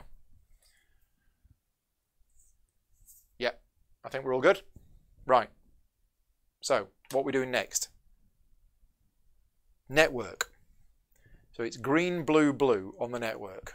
So first of all, green, and it's byte, which is yellow, and yellow is here. Right, so where can we go? Now, we have a network card. If I end up on layer 1, on a blue, I can get to draw a mod card. Well, I'm on layer 1. No, I'm not on layer 1. I'm on layer 3. Okay, so I'm not going to be able to do that. Um, So yeah, so I, I first move to there. Then we've got blue, and I can go around the outside if I really want to. Oh, now this is interesting. I would end up on the hub. Yeah, I'm going to have to read the rules on this because the next one is blue, which would put me to there, and then the next one is blue that would send me all the way around to there to the hub. So I need to read what happens on the network when you land on an IP. Uh, sorry, when you land on a ping node. if you land on a ping, you compare your network level to the CEO's network level. The higher network level boots the lower network level. In case of a tie, your IP is booted unless you're level 6, in which case you boot the ping. So I don't want to do that.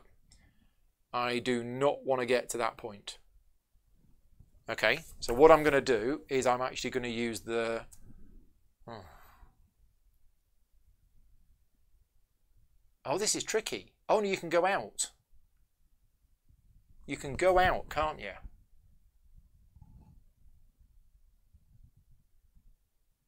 So I think I'm going to move to here with the second one, and then with the third one I'm going to move to here, which reduces threat by one. Yeah, so threat's gone down by one. I think that's what I'm going to do.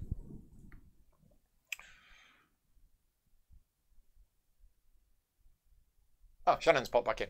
Thank you. I can't get to layer one, can I? Diane saying I can get to layer one.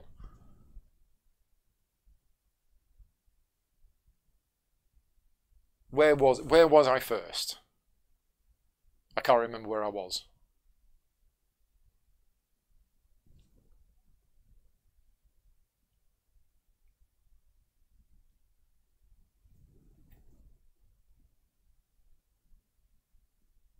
Yeah.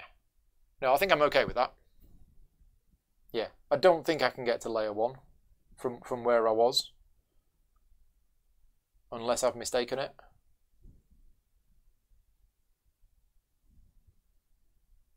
Yeah, so if, if, if I was if I was here,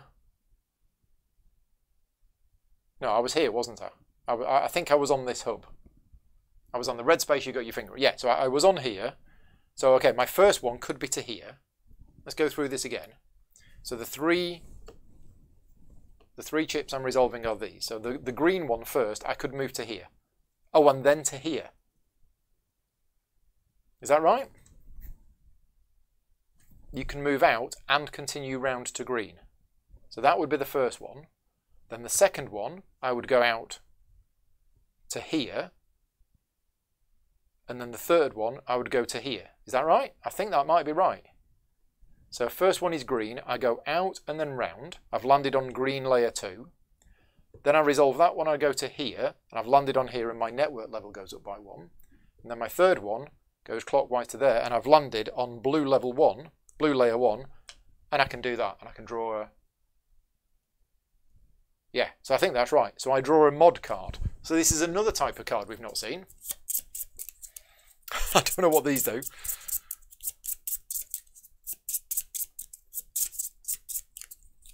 Okay, the mod card is Expando Trash. At the end of your turn, if your agent is not detected, oh no, my agent is not detected, you may treat their current space as a hiding spot until the start of your next turn. Place an objective bead on your agent to indicate this. Okay, so and it's got two power. Uh, I don't know what that does. We'll have a check. But I think I think we've done that right. He says.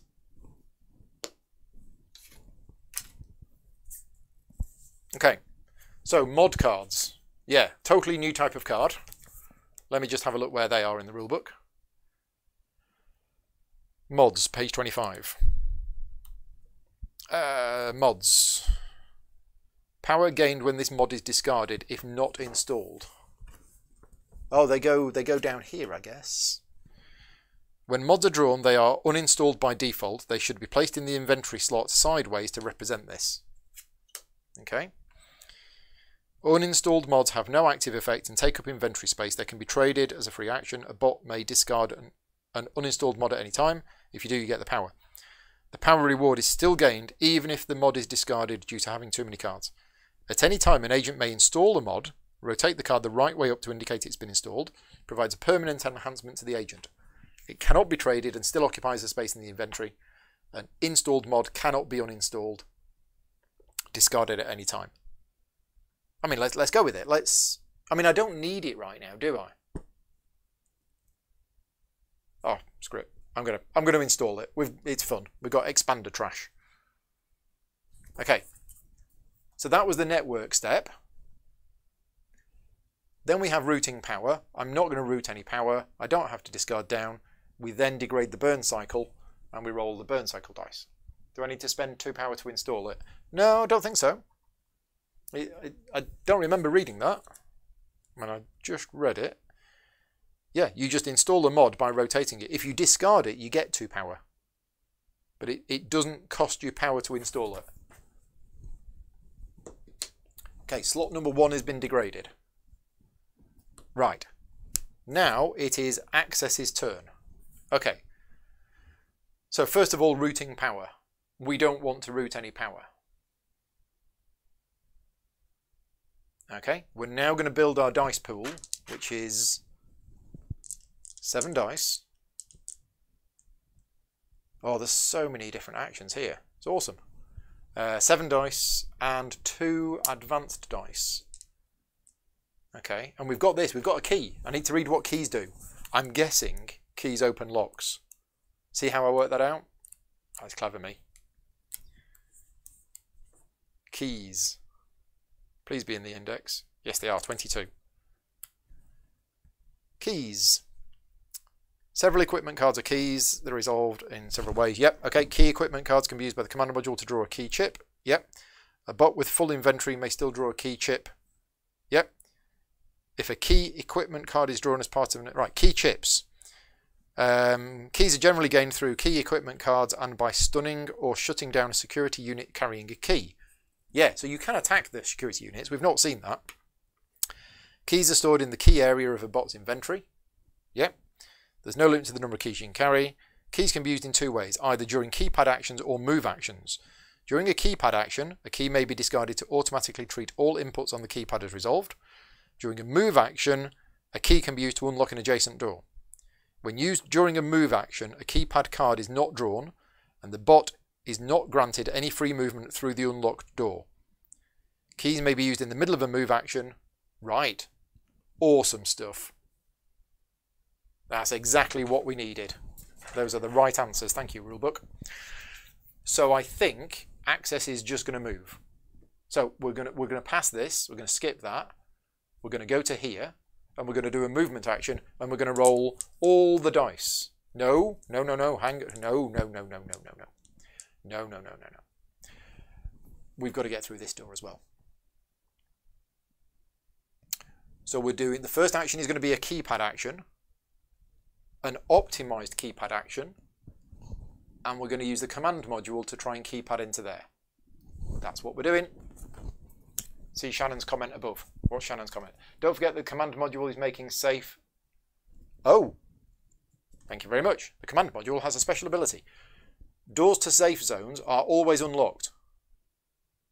Oh, awesome. so, doors to safe zones are always unlocked. Security units with that as their patrol will ignore these doors. So does that mean I should actually put little green tags on them at the start of the game? Maybe I should. Because if they're always unlocked, then why not?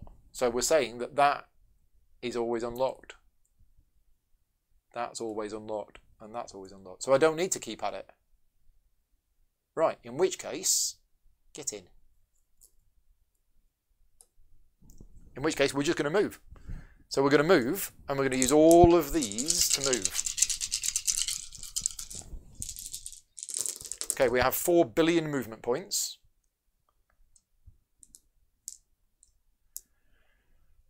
Which is enough.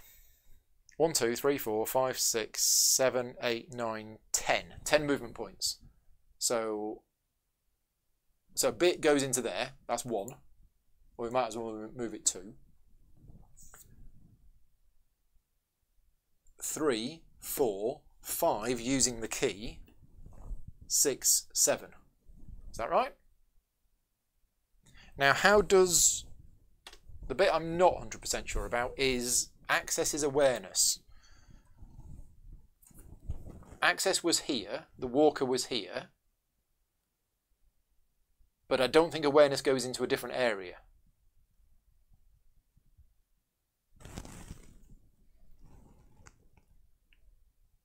This is the bit about awareness that I am a little bit confused about.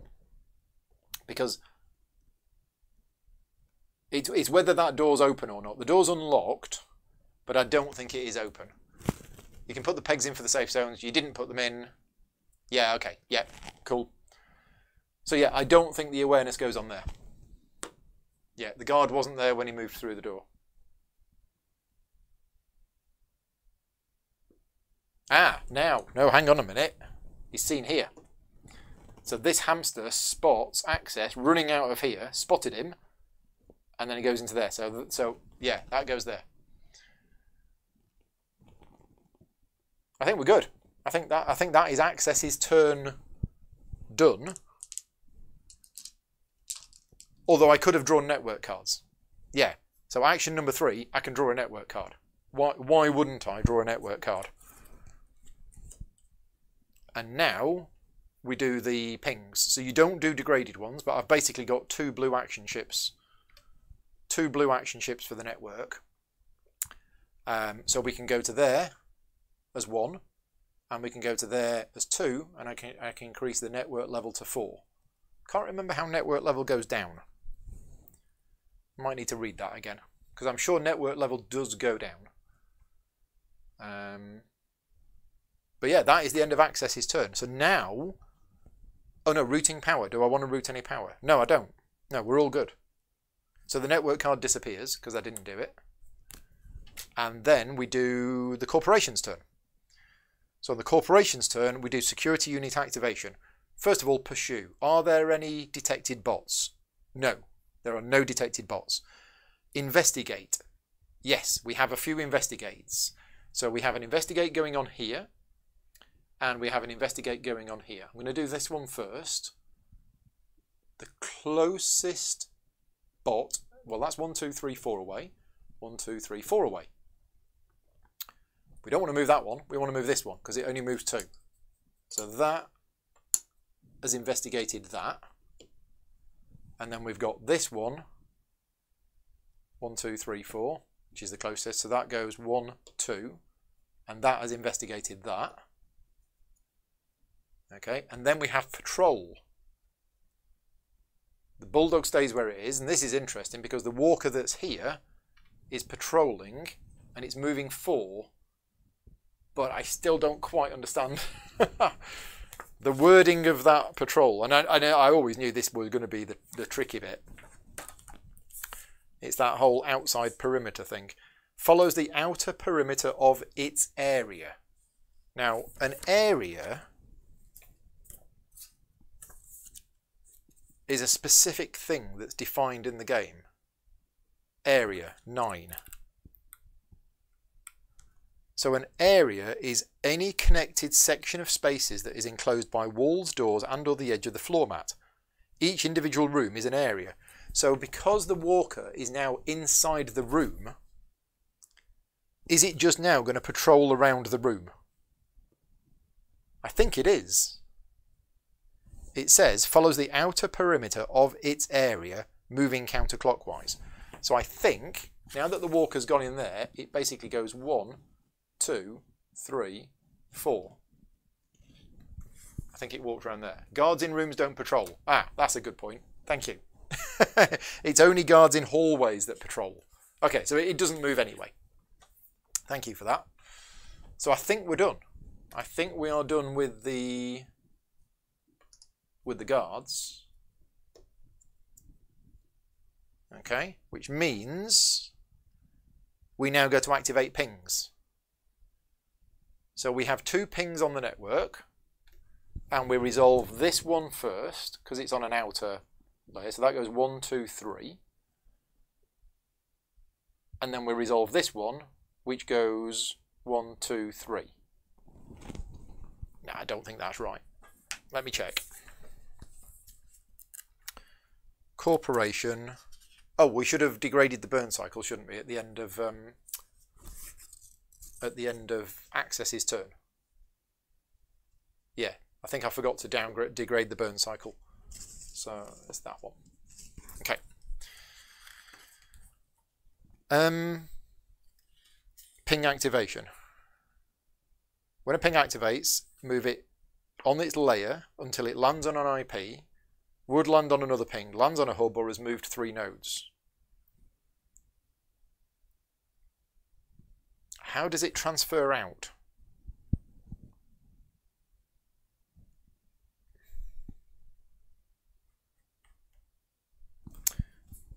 Because I don't think we're now rolling any dice.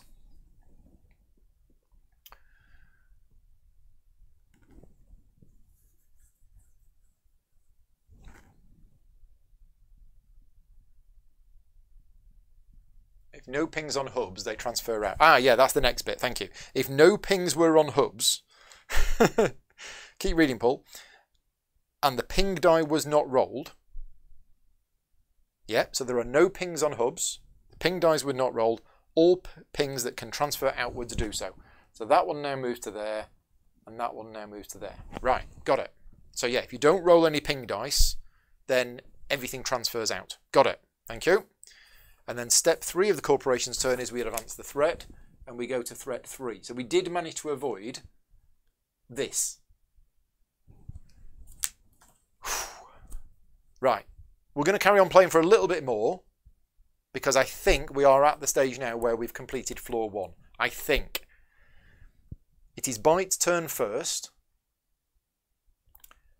and we pass the first action, we pass the second action, but for the third action, we move. We have those action dice. We choose the move action. We roll them, and we have enough movement, and we get into there.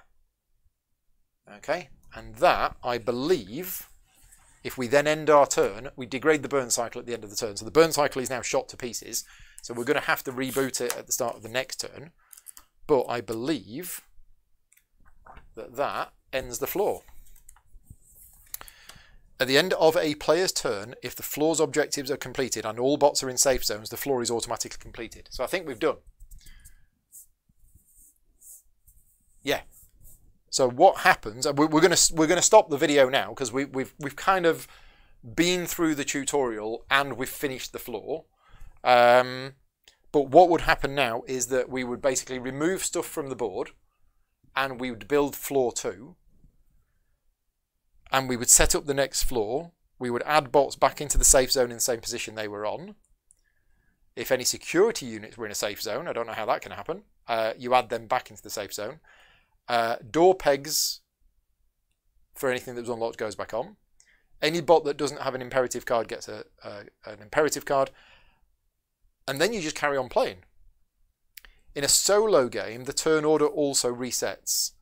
So this means that you will take another turn before the corporation takes its turn. But in, in a two-player game, uh, we basically carry on playing. So we'd set up the new floor, and then it would be Access's turn. And just in case you don't know, what I'm going to do is I am going to show you rebooting the burn cycle because we probably have to do that. Um, at the start of Access's turn because otherwise Access doesn't get any actions whatsoever.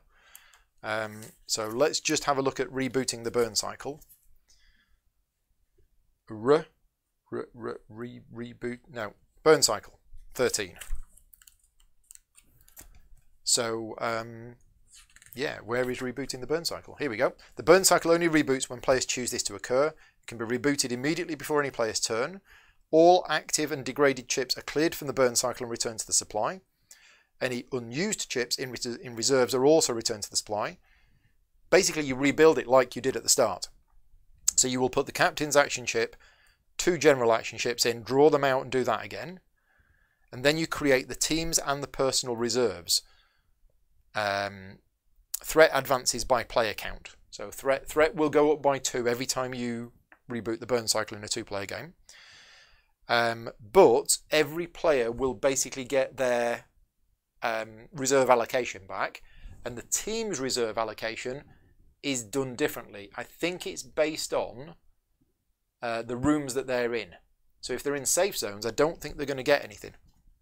Let me just check where that is. Reserves, page 31. Turn order would reset to all players get turns. Oh, right, okay. Turn order would reset, so all players get a turn before the corporation. So it would be access, then Byte, then the corporation. Oh, right, okay. Starting with the new first player. Oh, all players take a turn. Ah, right, I missed that bit. Yeah. But then would the corporation marker move? If not, that means Byte's managed to get an extra turn out. Okay, yeah. So are we saying then that it is better for access? Sorry, it is better for... Yeah, so tactically, would it have been better for, not that I could have done it, for access to have completed the floor, and that means both byte and access would have both had an extra turn each. Is that right? Okay, no, you're saying it passes to byte. Okay, got it. Right, cool. So, reserves. So, generating the team reserve after a burn cycle reboot. Uh, where is that? Where is that? A room that has at least one bot occupying it will contribute the action chip listed in the room info bar. The room may only ever contribute once per reboot, even if multiple bots occupy it. So basically, there's nothing in there. So if you reboot the burn cycle, when in one of the safe zones, it doesn't look like the team's reserve gets anything. Um, you, it only happens if you reboot the burn cycle when you're in a room and you get that.